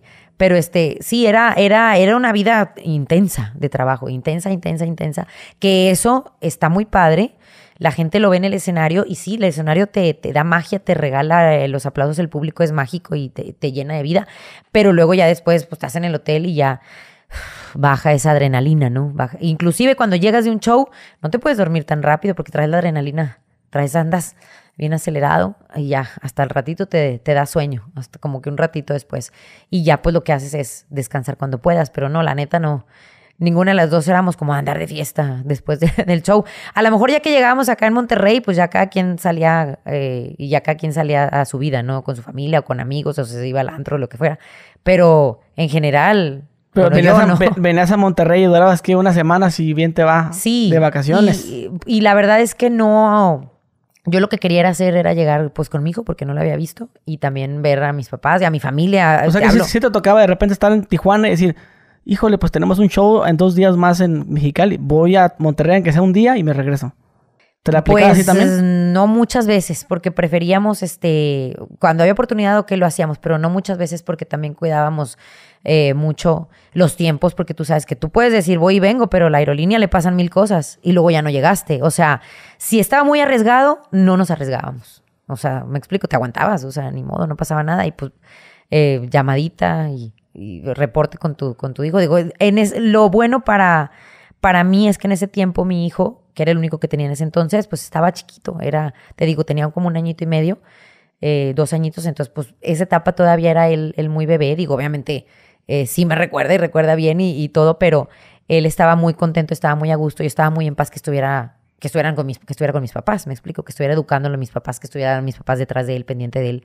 O sea, desde mi punto de vista, desde lo que yo viví, yo estaba muy a gusto que estuviera con mis papás en ese momento. Ok, esa vida tan ajetreada lo compensaba con lo que obtenían, ya sea económico, el aplauso Sí, de la gente. Sí, claro. er- En la bandera nos iba muy bien, teníamos muy buen, muy buen ingreso y también había mucho éxito, ¿no? O sea, la gente eh, lo, lo aceptaba muy bien. Eh, Estaba, era, eran tiempos eh, padres en ese sentido y pues, digo, es una época bonita que recuerdo. Mucha gente cree que la recuerdo mal o que no la quiero recordar. No, es una etapa padre de mi vida que viví y que no me arrepiento de haberla vivido y que me gustó, que ahí está, es parte de mi pasado, ahí está. Este, pero pues ya fue, ¿no? O sea, ya fue. Mucha gente me ha dicho también que si yo regresaría al personaje de la bandera, no, eso ya no sucede porque segundas partes nunca son buenas y ese personaje tuvo éxito con esas dos personas juntas. Ya no hay eso, entonces eso ya nunca va a jalar. Y también ya no es, eso luego se forza y lo forzado nunca sale.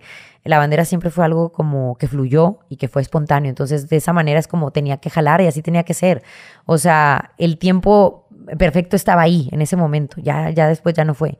Tengo ahí mi lavandera y de repente la saco en, en mis redes sociales y de repente ahí como hace, hago camellitos ahí de cosas que estoy haciendo, de repente la saco en mi podcast, de repente la saco en algún, en alguna cosa, en algún chiste, en alguna manera, en algún videito, nada más, pero es todo.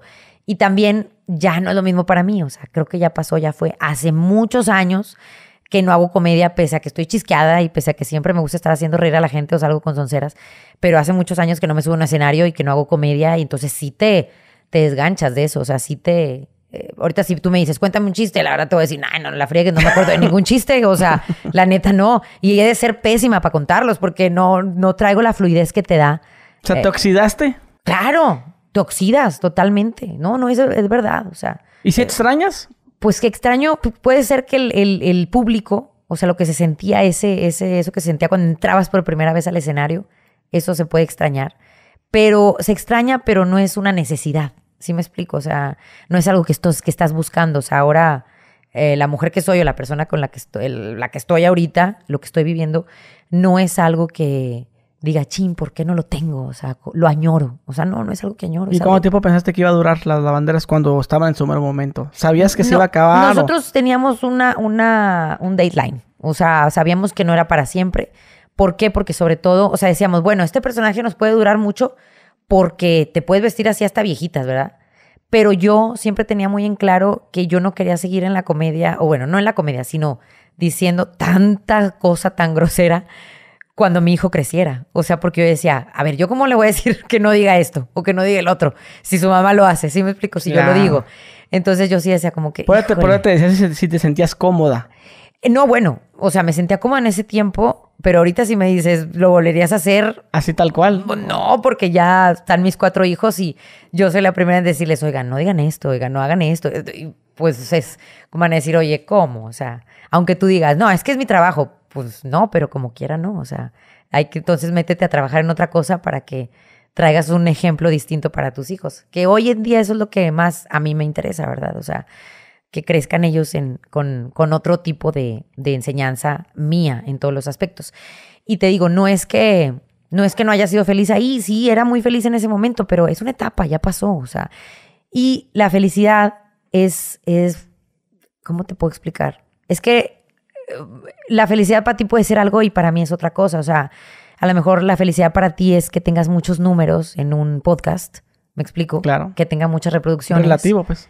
Y es muy relativo, pero para mí mi felicidad es ahora, como ya viví esas, todas esas cosas, pues a mí ya nada de eso me sorprende, ya nada de eso me impacta, porque ya, lo viví. Ya visto en los cuernos de la luna. Ya anduve en eso. Entonces, ¿Cómo, te sentías tú? O sea, ¿tu fama a qué nivel la, sentías? Fíjate que nunca sentí... Porque ya es que uno dice, no, yo me sentía Luis Miguel. No, no, yo nunca, yo nunca sentí que fuera tanta. Me explico. Nunca sentí que fuera tanta, porque para mí nunca dejó de ser un trabajo la banderas. O sea, era para mí un medio para sacar dinero, era para mí un medio para trabajar y qué padre que me divertía. Y tenías también como una meta de pues, quiero comprar mi casa, quiero asegurar. Sí, yo siempre pensé y hasta digo, así lo hice y lo logré. Fui muy administrada y fui este Ah, sí, no no eres gastona bueno, sí gastaba, eh, la verdad, sí gastaba en algo que me encanta, que son la ropa y los tenis. Gasto mucho en tenis y, ropa. Bueno, últimamente no, porque eh, de un tiempo acá que están las redes sociales, tengo muchos patrocinadores de todo. Y entonces está padrísimo eso también. Les agradezco a todos mis patrocinadores de todo, que tengo rato de no comprar ropa. este, pero bueno, al final es un intercambio, lo cambiamos, ¿no? Es, es publicidad por, por, por las garras, les digo yo. Este, no, me tienen bien consentida, la verdad. Pero eh, sí, como te digo, o sea, nunca nunca sentí, ay, soy súper famosa. O sea. Apago la lumbre a pedos. no, la neta nunca me sentí así como que, wow, qué famosa soy. Pues no, pero honestamente, a como ha pasado el tiempo y con todo el relajo que ha habido y todos los escándalos y todo lo que ha sido la banderas y lo que fue después, pues hoy en día digo, es obvio donde me paro y donde estoy, pues todo el mundo me sacaba el con de que, ay, es ella, o sea, ay, es Carla Panini, ay, la lavandera, ay. Y yo también pienso que hay mucha gente que no se acuerda tanto del concepto de lavanderas, pero no, hay mucha gente que se acuerda del concepto de lavanderas. Y hay mucha gente que, se, que no me dice Panini, me dice, comadre güera, o sea, ¿me entiendes? Que solamente que te haya gustado. Ajá. Este, y todavía sigue. Tengo muchos seguidores que están en, mi, en mis cuentas, en mi Facebook, en mi Insta o TikTok o así es gente que me veía en lavanderas. O sea, es, como, ahí siguen, ¿no? Ahí están y, y siempre dice, a mí me vale gorro, yo, a mí me encanta, me encantan las lavanderas y me encanta el concepto de las lavanderas y yo por eso te sigo y me encanta que, que seas tú y que ahora estés en otro rollo. Y es lo que te digo, ahora para mí mi felicidad es, es diferente. O sea, mi felicidad es poder estar en mi casa, poder llegar a mi, con mis hijos un día en la tarde, tener ese tiempo de poder verlos en un partido de fútbol, en un partido de básquetbol, en sus clases de ballet. Esa es mi felicidad ahora, poder eh, convivir con ellos, poder ver una película tranquilos, a gusto, poder ir al cine, poder sacarlos. Esa es ahora mi felicidad. Es cambiaron las prioridades. Este, y no quiere decir que eso anterior hubiera sido malo. No, es que fue un tiempo, fue una etapa. Hoy en día tengo otra etapa, es, es otra etapa de mi vida. Hoy en día me gusta mucho, este, soy muy feliz cuando hago ejercicio, soy muy feliz con, con unas clases que doy, este, que, que, que doy en mis redes sociales, que bueno, que tengo un grupo ya ahí más o menos grande. Este, doy clases de, de, hits y me gusta mucho hacerlo, me gusta mucho hacer deporte, me vuelvo loca haciendo deporte, me apasiona mucho. Entonces, soy muy feliz cuando estoy en ese momento. O sea, te digo, tengo como varias, varios momentos felices. Este, ya no es solo ese, ¿sabes? O sea, y en aquel tiempo, bueno, estaba muy enfocada nada más en eso, en eso. Pero también era importante estar enfocada nada más en eso, porque era un tiempo, ¿sabes? O sea, era un tiempo ¿Se, de. ¿Se termina en qué año? En el 2014. 2014. Sí, en 2014 se termina. O sea, imagínate cuánto tengo de hacer comedia, o sea, 15, 16, 17, o sea, imagínate, échale cuentas. Entonces, claro que te oxidas, claro que te desenganchas, claro que es como te digo, si me dices ahorita, cuéntame un chiste, te voy a decir, nada, sácate, no me acuerdo de ni uno. Y no te voy a hacer reír nada, o sea, porque no, no me acuerdo, la verdad no. De porque después de que se terminaron las banderas, ya no le entras a la comedia, nomás entras a las redes cuando. Fíjate que no había querido entrar a las redes yo, y no por nada del, del escándalo ni nada de eso, sino porque yo nunca le he sabido bien a las redes sociales. O sea, em, tengo un celular y siempre estoy con mis hijos. Muévele, a ver, pícale. O con mi marido, a ver, pícale, ¿qué, ¿qué hago? Ay, no sé. O sea, me explico. Entonces, no es hasta que entré a radio en el 2015 que activo un Instagram, pero en conjunto con un amigo que hacía radio ahí. Porque hicimos una página de Instagram juntos. No, no lo, no lo hice yo, ni siquiera lo hice yo. Él me lo puso todo en mi celular y me empezó a enseñar cómo cómo usar el Instagram, porque fue creo que lo primero que, que abrí. Este, ¿En qué año? El Instagram. En el 2015. 2015. 2015. Pero finales del 2015 por ahí. O no, 2016 no es cierto, todo el 2015 no. Ya, ya había bajado todo. No, porque el, el, yo entré a radio en noviembre del 2015. Mentira, entonces fue en el 2016 que empecé a, a, a tener radio. Ok, empecé a tener redes. Ok, te da la ola de hate y luego ya este, en el 2006 empiezas ya con tus redes. La ola de hate nunca se ha acabado. ¿No? la ola de hate sigue. o sea, no, no sé, es que yo tengo como etapas. Hay mucho hate y luego baja y luego otra vez y luego... Pero siempre pasa Pero algo. Es lo mismo que dices tú, dices, ok, pues es que... O no sé si alguna vez te la creíste y dijiste, pues es que a lo mejor todo, ya nadie se acuerda de las lavanderas, pero cuando recibes esos mensajes de que, Ajá. ¿qué hubo, comadre güera? O... No, no, sí, o sea, y parte del hate ha sido muy benéfico eh, ¿Cómo, para seguir cómo, estando ¿tú vigente. ¿Cómo tomaste todo eso que pasó, el hate y todo lo que se dijo? Mira, al principio es difícil, no te puedo decir que no. Al principio, como no conoces nada de eso, pues sí te saca de base y sí te quedas como que, ¿qué es esto? O sea, ¿qué pasa? ¿Qué me va a pasar? O sea, ¿voy a estar bien? ¿No voy a estar bien? O sea, eh, mi familia, o sea, mi círculo alrededor, mi gente que me conoce preocupada, ¿no? Al principio sí es preocupante. Pero luego va, ¿sabes? Va pasando y vas entendiendo que el hater no es más que un fan frustrado tuyo. O sea, es un fan, o sea, es alguien que realmente te quiere, o sea, realmente, más bien realmente que alguien te admira. O sea, es porque está, porque yo no puedo creer que estén tan pendientes de ti. ¿Sí me explico? Si no te, o sea, yo, por ejemplo, hay gente que no admiro o que simplemente no concuerdo con su estilo de vida, pues no lo sigo, ni siquiera sé quiénes son, ni siquiera voy, voy detrás de ellos, porque ¿para qué? Entonces, realmente el hater es un fan de closet. es como yo lo Sí, veo. sí, sí. Es como yo lo veo ahora.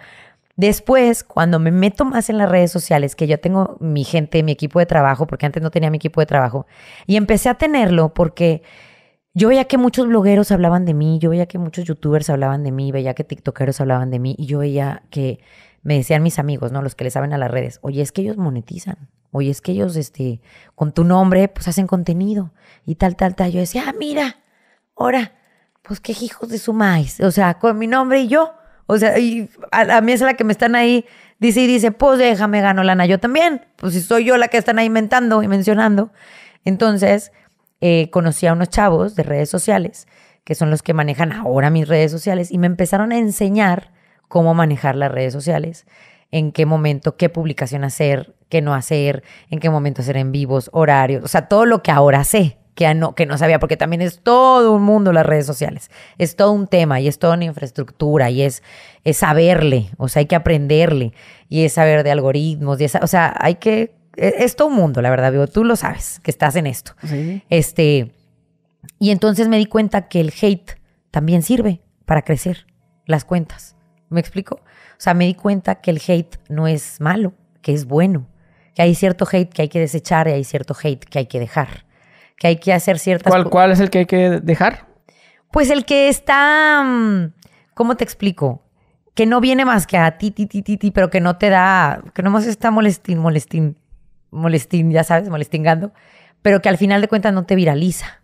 ¿Sí me explico? Que no te da ese, ese alcance en tus cuentas. Entonces ya hay, ya ya le sé yo qué, qué publicaciones hacer o qué hacer para, pues, para que se muevan las redes. O sea, eh, pues empiezas a hacer también ahora a saberle a esto. Hay que saberle el negocio. Pues sí. Pero Oye, es que si todo el mundo hacía negocio. Y, pero lo hicieron mucho con Mucho tiempo, mucho tiempo. Sacaron que playeras, ¿qué más? No, han, sacado mil contenido y mil cosas. Y, pero yo no le sabía. Y también hay, muchas cosas que yo no hablaba, yo no salía a decir y yo no declaraba porque también estaba guardando eh, mucha prudencia y compostura y por asuntos legales que estaba pasando mi esposo y por asuntos legales también, este, de, tanto míos o cosas también que no, no había concretas de lavanderas y tal. Entonces yo, yo también guardé mucho silencio que mucha gente, no, estaba, guardó silencio porque no sabía ni qué decir, no sabía cómo defenderse y no tenía idea. No, no era por eso, era, yo nunca he tenido miedo, ni he tenido vergüenza, ni he tenido ganas de esconderme, jamás. Era porque había cosas que yo tenía que guardar y callar y tener prudencia porque había procesos legales que, que yo tenía que esperar sus tiempos. Este, hoy en día, pues es, mi situación es otra, este, y, la de mi familia la de mi esposo es otra, con el tema de sus niñas. Entonces, pues ya pues yo puedo utilizar y decir lo que se me dé la gana en mis redes sociales y pasar y presentar lo que se me dé la gana en redes sociales. Este, te digo, hay que, hay que saberle a las redes. Yo no le sabía y empecé a aprender y pues nada, dije, bueno, pues esto también es un buen negocio, ¿no? Porque es el negocio de ahora. Sí, sí, sí. Oye, ahorita que te, te decía lo de que hicieron camisas con tu nombre, hicieron una piñata, ¿no? Hicieron una piñata, pero son los, chavos de la piñata que hacen piñatas de todo lo público, todo lo que es mediático. Pero fíjate nomás, como dices tú, darle atención a una persona y, y luego el que la va a comprar. Pues es lo que te digo, o sea, todo, todo, pero, eh, pero todo es para bien. O sea, creo que al final de cuentas. ¿Eso sí te lo tomabas como madreada o como que sí, no, te asustaba? no, no, no, me lo tomé como madreada. Hay mucho, mira, la gente cree que hay muchos memes míos en la red. Si tú te. De todo. De todo, de lo que quieras. Y mucha gente cree que me molestan y me lo van y me les ponen, mira, toma, maldita. Pues y yo me encanta, o sea, y me encanta porque sigues vigente y pasa cualquier tema que pase de, ya sabes, eh, odiamos a no sé quién, pero espérate tantito, Carla Panini, ahorita seguimos contigo.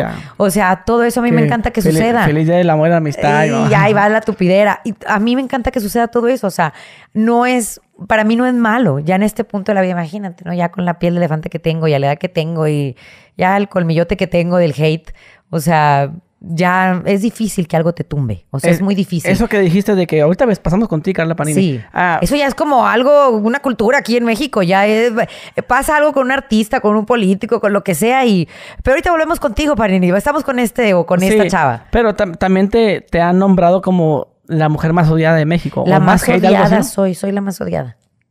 ¿Sí? soy, no sé, la gente dice. Pues mira, no sé. ¿Y qué opinas de eso? Pues me encanta. O sea, no es. pues es que eh, del odio al amor solo hay un paso. ¿Sí? Me explico. O sea, realmente no sé si sea tan odiada como dicen, no sé, porque... Por parte del, mame ya. Pues es exacto, es parte de eso, es parte de... Yo creo que ya es una tendencia. Porque yo pues salgo normal por la vida, he ido de vacaciones, voy a las playas, aparezco en todos lados, he ido a antros con mi esposo, he ido a eventos, he ido a conciertos y pues no me soy muy odiada. La gente toma, se toma fotos conmigo, o sea, entonces no sé. El mismo güey que te dice, ahorita Yo venimos contigo, Carla. Sí, muchas Mazo". veces. El, el mismo chavo, la chava que me dice, no, mira, lo que pasa es que la gente, tú muérete, maldita y perra, y te vas a ir al infierno. A mí todos los días me mandan al infierno. Todos los días. Y yo estoy muy acostumbrada a que todos los días me mandan al infierno. Pero al final de cuentas, pues eso no determina mi vida. O sea, el que tú, por ejemplo, si yo te caigo pésimo, fatal, y tú me escribes y me dices, maldita, te vas a ir al infierno, pues porque tú lo digas no va a suceder. ¿Me explico? O sea, y si tú me dices, ay, te deseo y me quedes bien gorda y ojalá te mueras, ese deseo no va para mí, va para ti, porque la lengua es poderosísima y eso regresa para ti, no para mí. Si yo hoy día te digo aquí, ¿sabes qué, Gus Gris? Deseo que te vaya, que te siga yendo con ganas en tu podcast, que alcances más y más y más seguidores y que todas las metas que traes puestas acá y acá se te realicen. Oye, eso, eso lo declaro con mi boca para ti, pero regresa para mí. ¿Sí me explico? En lugar de que yo te diga, "Ay, qué, qué mal y mugre podcast y aburrido y tal, y, y ojalá te lo cancelen. O sea, no te va a suceder a ti porque tú, estás, tú vas para arriba, vas trabajando, vas trabajando. Me va a suceder a mí que sigo metida y, y- y esclavizada en ese odio, o en, e- ¿sabes? O sea, eso es, eso es para ti. O sea, el odio se lo come uno, no el, el que lo declara, no, el, no al que se lo mandas. Y luego imagínate, me escribe, sabrá Dios quién.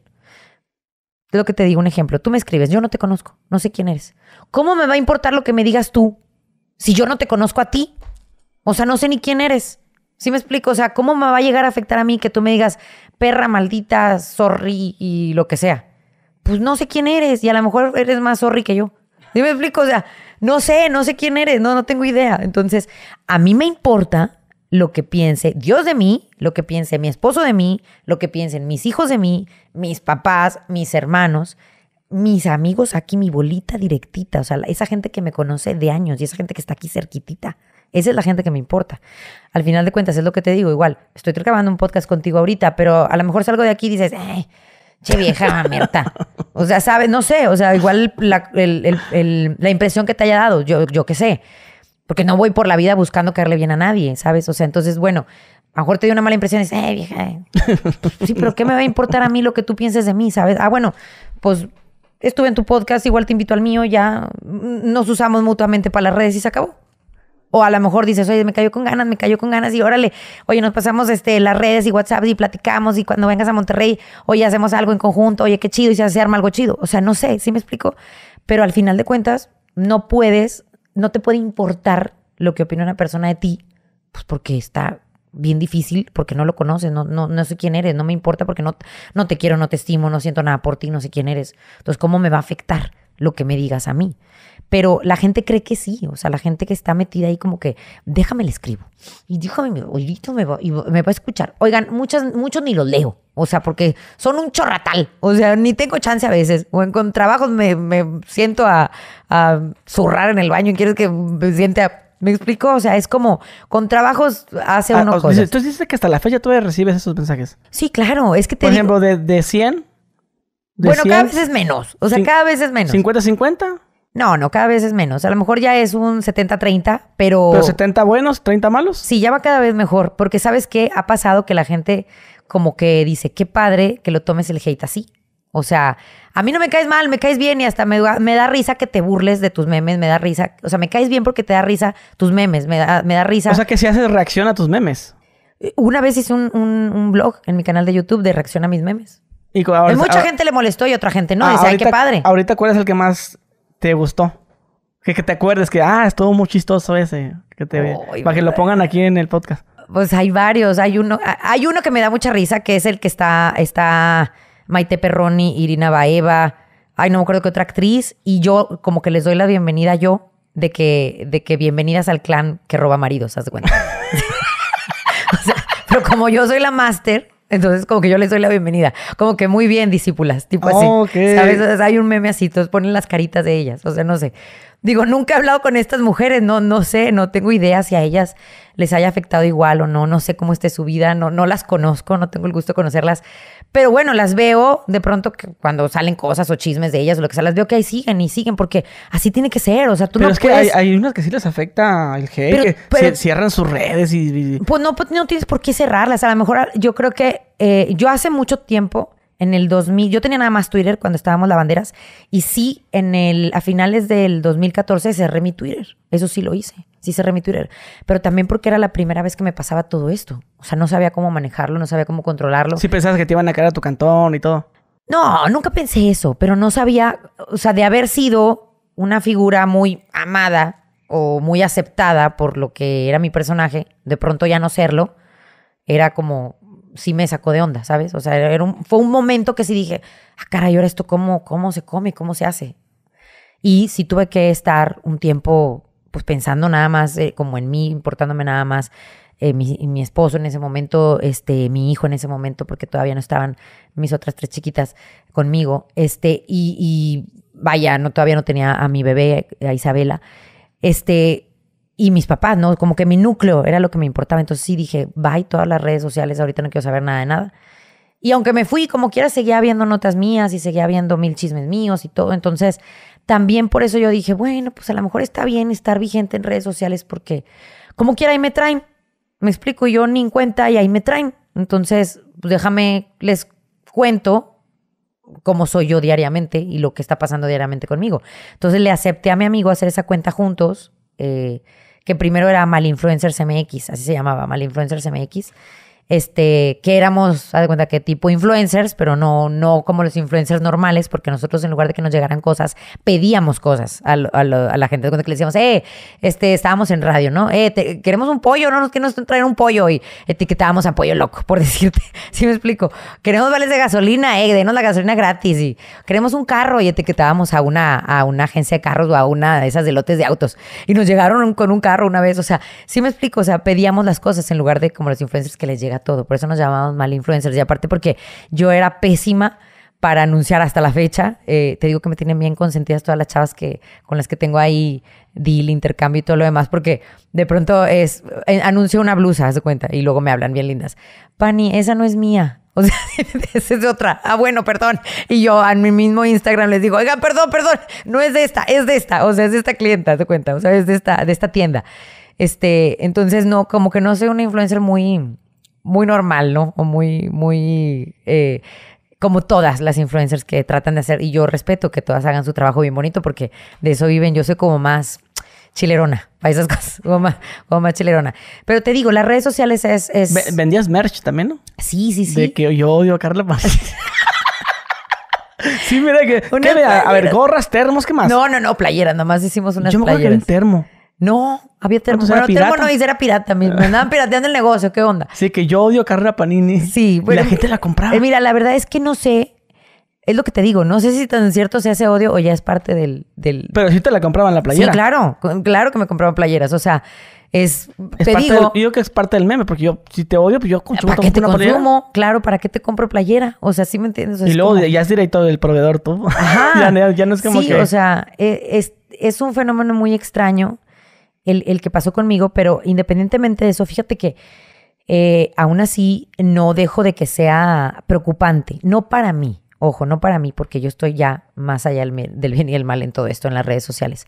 Es un poquito preocupante para mí y lo he externado en muchas entrevistas que me han hecho. Hoy lo voy a externar contigo también. Porque yo sé manejar el hate, yo sé manejar los malos comentarios en, en las redes, yo sé hacerlo eh, mental y espiritualmente. Lo sé hacer. O sea, no es algo que me, que me retraiga o que me haga esconderme o que me haga estar triste. Pero sí me preocupa que eso le suceda a un chavito, a una chavita. Eso me preocupa. Entonces, me preocupa porque hay casos ya de gente que se ha quitado la vida por eh, bullying de redes sociales. Entonces, hace como, ¿qué te digo? Alrededor de medio año, empecé a, platicar con, empecé a buscar políticos, empecé a buscar quién me podía ayudar para hacer una, una iniciativa de ley, este, que quiero, eh, em, pues, estar ahí procediendo, ¿no? Que quiero que suceda. Y- y me, me- me junté este, con, una, con una senadora que está trabajando también en esa iniciativa, que me escuchó y que hay un grupo de trabajo ya de gente trabajando con esa iniciativa, porque a lo mejor a ti no sé si te pasa que te tiren hate, no tengo idea, a lo mejor no, a lo mejor son puros comentarios chidos, no sé. Bueno, es que todos tenemos hate, pero no, no resalta tanto el hate. Ajá, por eso te digo, pero a lo que voy yo es que, ay, imagínate que le suceda algo así a, a un chavito, a una chavita, que es algo tan... Porque tú te puedes hacer famoso en un segundo Y no estás preparado para y no estás el preparado para eso y no estás preparado también para ese hate. O sea, Pues ya, ya ves unos chavillos que ya Yaritza y su esencia. ah, sí. ¿Cómo lo están? Y resulta que ellos sí les está afectando eso. Claro, porque son unos muchachitos que tampoco creo que entiendan mucho nuestra madreada ni el idioma. O sea, porque son de Estados porque son de Estados Unidos. Unidos, este, porque tienen otro humor en Estados Unidos, aunque tengan sus raíces mexicanas, pero pues nacieron y se crearon allá. Entonces, yo creo que sí les ha de estar afectando muchísimo y es difícil, es difícil porque hay gente que sí le afecta tan, es así que dicen, oye, mi vida no, no, es un mugrero, no sirve. Entonces, estoy eh, promoviendo mucho esa iniciativa de ley y te digo, estoy ayudándome con una senadora que gracias a, a Dios que me, que me escuchó, que me peló y que dijo, va, me, me late y está chido y pues vamos a, a buscar que, que se lleve a cabo, ¿verdad? Ojalá ¿Cómo que se llama sea. ese movimiento? Fíjate que todavía no tiene ese nombre eh, y no lo puedo revelar también por precisamente por porque apenas va a surgir. Pero es que sí, sí está muy bueno eso que dices, ese, el, explicar a los jóvenes cómo llevar eso, por así decirlo. Lo que pasa es que, mira, cuando eres una figura pública, la gente cree que tiene derecho a, a comentarte lo que sea Sí, decirte. y a meterte en Y si tu no, vida. pues ¿para qué te dedicas a eso? Exacto. Si no, ¿para qué te dedicas? Pero lo que sucede ahorita en las redes sociales es un fenómeno bien cañón, que es lo que te decía yo. Tú te haces público sin querer serlo, porque no sé, te exhibe a alguien en Facebook. ¿Sí me explico? No sé. Te, te peleaste en una gasolinería, por decirte. Y entonces ya te exhibieron en Facebook y Y entonces ya te el- haces famoso. Soy el Lady Gasolina. Sí, Lady Gasolina o Lord Gasolina. Y entonces de ahí ya te hiciste famoso. Y durante un rato estás famoso en Facebook o en TikTok o no sé en donde sea. Entonces te llega hate. Entonces tú no vas a esa persona que a lo mejor no es una figura pública como, como uno que está acostumbrado ya a estar tanto rato en los medios. ¿Cómo le vas a hacer ahí para lidiar con eso? ¿Sí me explico? Eso es a lo que, voy. Tú no sabes si esa persona está fuerte mental y espiritualmente para soportarlo. Y qué tal que no, y decide hacer algo o atentar contra su vida. ¿Sí me explico? Es algo más grave de lo que uno cree. Es algo más grave de lo que uno piensa. O si lo estoy haciendo también mucho por mis hijos. Hay muchas veces que yo no salía a hablar de mí, a declarar de mí o de mi esposo, porque no tiene caso, no tiene sentido. O sea, eh, lo que fue y lo que se dijo ya está ahí, ya yo no puedo hacer nada contra eso, ahí está. Dime si diretes, este, sea, sea verdad, sea mentira, sea lo que sea, yo no puedo este, cambiar eso. Lo que sí puedo cambiar es lo que la gente esté opinando de mis hijos, porque hay gente que ya también se mete con mis hijos y eso no lo voy a permitir. O sea, porque mis hijos son inocentes en todo este caso y en todo este tema. Entonces, por ahí también empecé a, a preocuparme mucho por eso, porque Ah, ¿Qué edad tienen ahorita? mis hijos tienen 14, 13, eh, 11 y 5 años.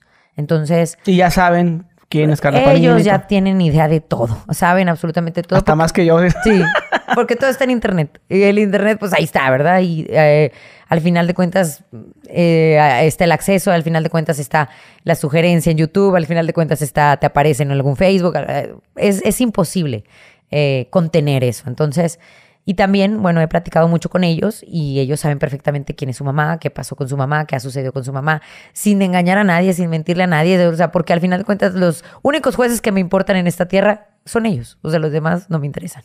Entonces, a los que les quiero revelar o relatar lo que realmente sucedió o lo que sea, o, o a los que les quiero contar es a ellos, ¿no? Este, pero al momento de estar viendo que también ya se metían con mis hijos, dije, esto no puede estar sucediendo porque ellos son inocentes, ellos son niños. Y cuando crezcan, ¿por qué van a tener que estar soportando a esta gente, no? Entonces fue ahí que empezó también mucho. Y empecé a pensar que también hay otro, otros casos de otros niños que también pueden ser molestados o pueden ser bulleados en redes sociales y que tampoco es justo. O sea, que pueden llegar a tomar una decisión difícil y triste en contra de su vida. Lo que yo estoy haciendo no es para blindarme, claro que no, yo ya estoy... Yo no me blindo con Piel de nada. elefante, quizás. No, ya, más cállate, no, no. nada, nada puede tumbarnos. Ya a estas alturas ya es bien difícil que algo te, que algo te tumbe, que algo te. Lo que sí no me gusta es que ataquen a los niños, porque con los niños no se vale. O sea, sea el niño que sea, no solo mi hijo o mis hijos, los niños que sean. O sea, eh, hay artistas que están en el ojo del huracán, que hay en- están en una, en una situación mediática difícil y le atacan a los hijos. O sea, ¿por qué? ¿Sí me explico? O sea, si ellos no son los que están en el medio. Tampoco te da derecho de atacar a la persona que está en el medio. ¿Me explico? Pero no tienes derecho en atacar a la persona que conoces por ser figura pública, entre comillas. Pero menos a sus hijos o a su familia. A veces se llevan hasta la mamá, el papá de encuentro. O sea, ¿cómo por qué? O sea, me llamaba mucho la atención varias veces que Andrea Legarreta comentaba cuando le ha tocado sus olas de hate que se pueden atacar a sus hijas. Oye, sus hijas, ¿qué onda? O sea, qué culpa. Y es verdad. O sea, te van, pero en primera dice, oye, atacan a mi papá, atacan a mi mamá, atacan a mis hijas. Sí, que dice, por, por una cosa que dije del dólar. O, no, o, o, o, también ahora que ya que, que, se divorció y que no sé qué, que mil escándalos, pues bueno, cada quien se divorcia y se casa con el que quiere, y, pero ahí están la gente metida, pero te digo, atacan a la familia, o sea, la familia, ¿por qué?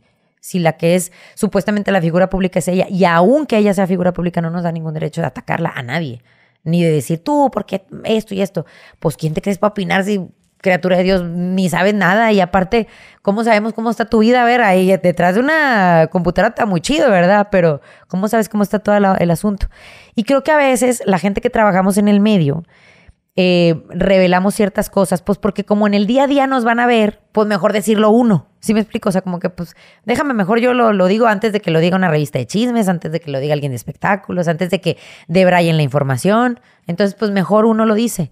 Pero de ahí la gente se agarra en primera. Ah, como me dijiste, pues déjame te doy mi opinión. Espérate, si no te pedí la opinión, nada más te, te comenté para que se supiera porque me vas a estar viendo. ¿Sí me explico? Al final de cuentas, la gente es un hilo bien delgado, es una línea bien delgada, porque la gente cree y sigue creyendo que tiene ese derecho de meterse porque sale. No, y luego los bloqueas. ¿Y por qué me bloqueas? Claro, pero yo les digo, o sea, ay, no aguantas, pues no que tú, muy fregona del hate y que aguantas. Sí, pero yo no tengo por qué estar soportando tu basura mental cómetela tú. O sea, yo porque tengo que estar en mis redes aguantando groserías y malas palabras. Cómete tú tu basura mental en tu, en tu cuenta, en tu Facebook. Ah, o sea, no. Fíjate, hay muchas opiniones, hay gente que, que nos escribe y hay gente que no bloqueamos porque no está con ofensa. O sea, es, una, es un comentario, pues quiere dar su opinión de cualquier tema o de cualquier cosa y no, no lleva ofensa. Y va, órale, se queda, no hay bronca. A lo mejor no es a mi favor, ¿sí me explico? Muchas de las veces no es a mi favor, pero va, eh, lo hizo de una manera educada o no, no me ofendió, no sacó con groserías, no pasa nada, dale. Aún así no tendría el derecho tampoco de decirlo, ni de opinar, ni de la manera educada que quiera. Pero bueno, va. Pero cuando son groserías y cuando es estar mandándome a la no sé qué, oye, ¿por qué? Va bloqueado, quédate tú con tu mugrero, con tu basura mental, ¿por qué me lo va a quedar yo en mi cuenta? Vámonos para la porra. Y tengo todo el derecho porque pues son mis redes. Eres tú la que... Sí, aparte si no fuera así, pues no te da la opción de bloquear. Eres tú el que está viniendo a mis redes. No soy yo que va a tus redes. O sea, entonces, no, porque estás loca, estás enferma. A ver, ojo, ¿quién está más loco y quién está más enfermo? Tú eres el que viene a atacarme a mí, no yo a ti. O sea, yo no sé ni quién eres. ¿Sí me explico? Yo no, yo no voy a atacarte a tus redes. O sea, no sé, no, no tengo interés en ti porque no te conozco, porque no me interesas. Tú traes un rollo porque te das el tiempo de escribir. O sea, yo no estoy muy de acuerdo con muchas cosas que hace nuestro presidente. No estoy muy de acuerdo. No voté por él. O sea, yo no soy amlover, pero pues lo que, no por eso voy a ir a sus redes y a decirle y atacarle. Porque para empezar de política sé, eh, sé nada. O sea, ¿para qué me meto en ese tema? No es, no es mi fuerte, no es mi tema. Y yo, ¿por qué voy a ir a atacar al hombre? Pues allá él, su trabajo, sus cosas, sabrá Dios como yo. Yo sigo jalando, yo no veo ni para acá ni para acá. Yo, yo trabajo por mí, por mi casa, por mi familia. Ya lo que tengan que hacer será, o sea, pero no voy a la cuenta de, ¿y tú, maldito? ¿Y por qué? Pues no, o sea, ya él sabrá, o sea, ¿para qué voy a seguirlo? Como tú dices, si tanto odias a alguien, ¿por qué vas y, lo sigues? O sea, es todo un tema y también me ha pasado que muchas veces hay gente del medio que ha estado en una crisis mediática y me hablan para saber qué hacer. O sea, para ver cómo de amigos o de gente del medio me ha tocado. ¿Tú cómo le haces? ¿Cómo le hiciste? Porque hoy estoy en esto y no sé cómo manejarlo y y yo, a ver, ven para acá, yo te digo. O sea, Ahora sí, mis discípulos, ahí, sí, entra. No, me gusta decirles que, que cómo, o sea, que no se sientan mal. Lo primero es, no se sientan mal y lo primero es que tienes que afrontar y, y no quedarte callado y, aguantar, porque es un ratito. También el hate es como, o esa de esos comentarios de ese escándalo, el escándalo no dura para siempre, es como, como bloquecitos, ¿me entiendes? Como un ratito. El mío como que sale otra vez cada que alguien la riega. O sea, cada porque tú dices, como tú dices, el parte del mame ya que hay ahí. O sea, ya la regó esta chavita Yaritza y su grupo y ahí me traen a mí. Ahorita vas a ver, Panini, espérate. Ah, también te Sí, me, me, mandan memes de estamos ahorita con Yaritza y su grupo, no sé qué, pero al ratito seguimos contigo. Y yo, hay gente, hay cierta gente que le contesto, ok, va, aquí los espero. Aquí no me explico, aquí estoy, aquí los espero, no, traigo tiempo, no pasa nada, soy paciente, o sea, pero ya es, mucha gente ya me escribe como de, este, de madreada. O sea, la verdad, mucha gente ya es parte de la madreada. Entonces, pues yo ya también me, me, acostumbré, ya me hice la idea y dije, pues también está padre. O sea, no, no pensé que fuera a, a ocurrir así este fenómeno en mi vida, pero pues bueno, aquí está y lo mejor es saberlo sobrellevar y sacarle el mejor provecho posible y darle la vuelta. O sea, siempre que tú tienes una algo negativo que te ocurre, hay que saberle darle la vuelta positivo. Hay que saberle, este, hay que ser visionario y hay que saberle eh, contrarrestar y, y no quedarte ahí como que en esa, no, pues ya, todos me odian, nadie me quiere, mejor me como un gusanito. Pues no, o sea, síguele, dale la vuelta. O sea, esto, algo bueno hay que sacar de esto. Y siempre hay algo bueno que sacar de las cosas malas y negativas. Y, Siempre. ahor- y ahorita con tu podcast. Tengo podcast que estás comprometido a ir porque ya ¿Sí? vine. Ah, Sí, Ahora te aguantas. No te creas. a ver cómo le haces, porque sé que no eres de aquí, no te creas. Tengo, tengo podcast, tengo eh, un podcast Tienes que es- tres podcasts. Tengo tres. A ver, Es- uno ¿cuáles que es puro relajo. Uno que es puro relajo que se llama Malinfluencers, que es con un personaje que es Ernestina del Mar y otro compañero que mío tiene locutor. una máscara. Ándale, Sí, mo. ese menso. Ese Cre- creo, menso que, mensa. creo que él fue el, el que me dijo, oye, este, estuviera bien que invitaras a Carla. Ah, sí, él te dio la idea. Él me dijo, pero yo ya tenía la idea también. Ah. Entonces ahí en, en Multimedios, creo que en el programa de Adel Marcelo, Ah, ahí sí. marca, le marca creo que a tu asistente. O, Ajá, ajá. Oh, que con Carla, no sé qué. Ah, sí. Ah, oye, pues este, Órale. te paso este número. Chido. Ya, ya, ya dijo que le va a decir. Sí, ok. Ajá, bueno, con Creo- él creo hago... que él fue. Sí fue él, ¿va? Sí, sí, yo creo que sí fue él. Si estaba en multimedios, sí, porque Sí. él trabaja en multimedios. Este, estoy con él, con Pancho, que es un locutor venezolano, pero ya está, ya es más regiosolano, ya está más para allá que para acá. Este, y hago ese podcast, ¿no? De Malinfluencers, que es puro relajo, o sea, cualquier tema, pero, por ejemplo, hablamos, acabamos de hablar de cirugías plásticas y, llevamos un doctor de cirugías plásticas y platicamos con el doctor y también hablamos de, de embarazos y de este, fertilidad y hablamos con un ginecólogo, pero muy al estilo nosotros y haciendo preguntas como lo haríamos los malinfluencers, entonces siempre hay risas y está picorón ahí el asunto y está irreverente y tal. Este, Ah, es el que voy a ir. A ese es el que vas a Ah, ir, sí. Hay otro que está muy padre que se llama Se dice de mí. Ese es el podcast también como de invito puras figuras o gente que ha estado en una situación mediática complicada, que ha estado en shows mediáticos, en chismes mediáticos, en escándalos y cómo ha podido sobresalir. Porque yo a mí no me interesa el chisme, ¿me entiendes? O sea, a mí no me interesa saber si eso que le ocurrió a esa persona es verdad o es mentira. No, eso a mí me vale. Lo que yo quiero saber es cómo le hizo para seguir después de ese escándalo? ¿Cómo le hizo para surgir? ¿Cómo le hizo para resurgir más bien? ¿Cómo le hizo para... ¿Qué, qué pensó en ese momento? Porque aunque estés siendo una figura pública, eres un humano. Y hay cosas que te duelen, hay cosas que te lastiman, hay cosas que, que de pronto no sabes cómo manejar, porque no somos robots. Ese se llama Se dice de mí, entonces es, es justo eso, o sea, eh, de eso se trata, de lo que se dice de esa persona. Y como te digo, no me interesa a mí saber si es cierto o no, me interesa saber cómo sale, cómo logró superar esa crisis mediática, de eso se trata. Y tengo otro que se llama Cristianoides, que yo estoy en la fe cristiana y me encanta desde el año 2015 y me fascina estar en esa fe porque estoy feliz, me siento plena y me siento muy en paz. Y es un podcast que aunque es de corte, mm, bueno, la gente cree que es como muy cristiano, muy religioso, no, no es así. Si tienes chance, date la tarea de escucharlo. Si me estás escuchando tú, date la tarea también tú que nos Pues lo estás vamos a dejar escuchando. en la descripción del sí, video.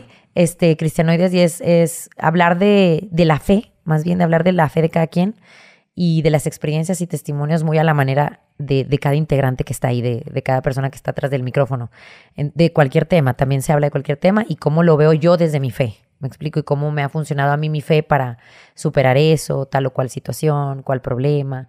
Eh, pero aparte también no es, ninguno de los que estamos ahí somos así súper religiosos y eh, golpes de pecho, no, somos gente eh, tan pecadora como cualquiera, tan llena de errores como cualquiera, tan llena de efectos como cualquiera, que lo único que quieren es este, tener fe y seguir en la fe y, y- y cómo, seguir a Dios. ¿Cómo le haces para atender a los tres podcasts? Pues está padre, tengo como un día para cada uno ya destinado. Este, O sea, y- ahorita estás trabajando en, en redes sociales, en tus en redes sociales. tus y- podcasts. sí, sí, también. Y bueno, hace poquito también me metí mucho, te digo, bueno, no hace poquito, desde el 2020 me metí de lleno, muy de lleno al ejercicio.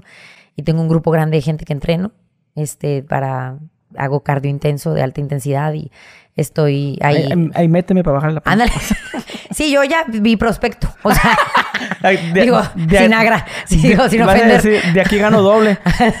Ahí sin ofender, compadre. Yo ya vi prospecto, pero dije, no tengo confianza. Ya lo que te da confianza, ya te digo, oye, ¿no quisieras ir a, a las clases? no, no. ¿Te urge? No, no te No, pero acá, pero tú no me quieres decir y yo, no. Pues yo pienso como que estaría padre. Estaría padre, sería algo, pues, sería un nuevo hobby que te haría bien. estaría bien a lo mejor.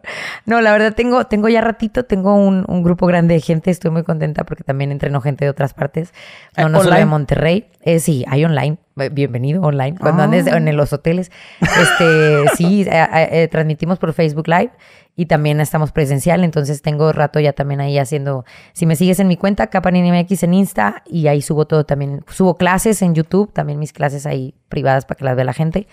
Puedes entrenar conmigo en línea. Está, está muy padre también. Me dediqué mucho al ejercicio. Fue parte fundamental en el 2020, que fue un año muy difícil para mí. Fue un año parteaguas para mí el 2020 porque solo se hablaba en mi país, que es tu país, del COVID, de Andrés Manuel López Obrador y de mí.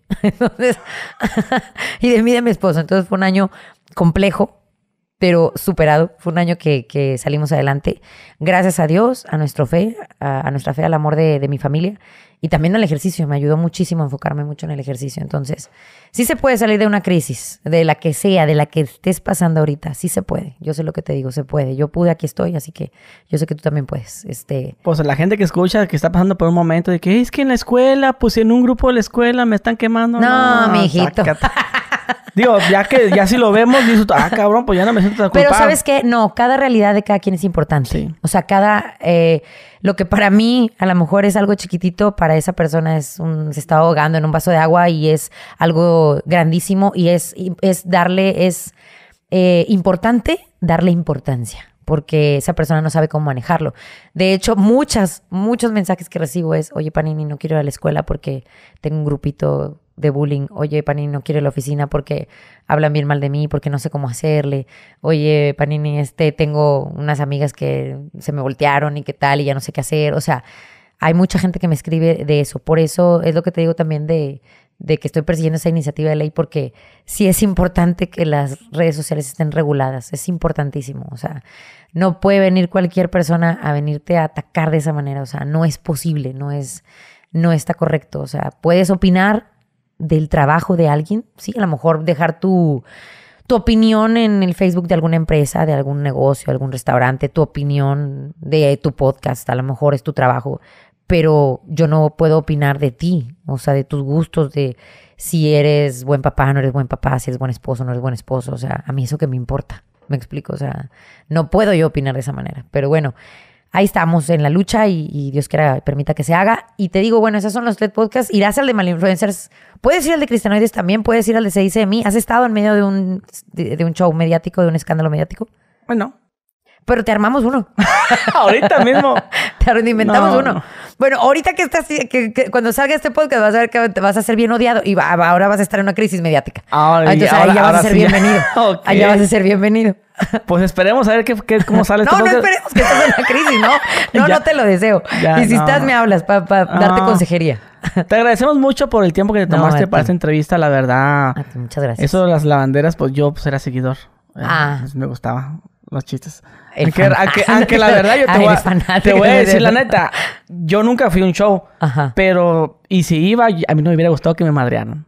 ¿Por qué? No, no, sí, muy, soy muy penoso. ¿A poco? De que, todos Porque eres muy ahí, penoso y te dedicas a esto.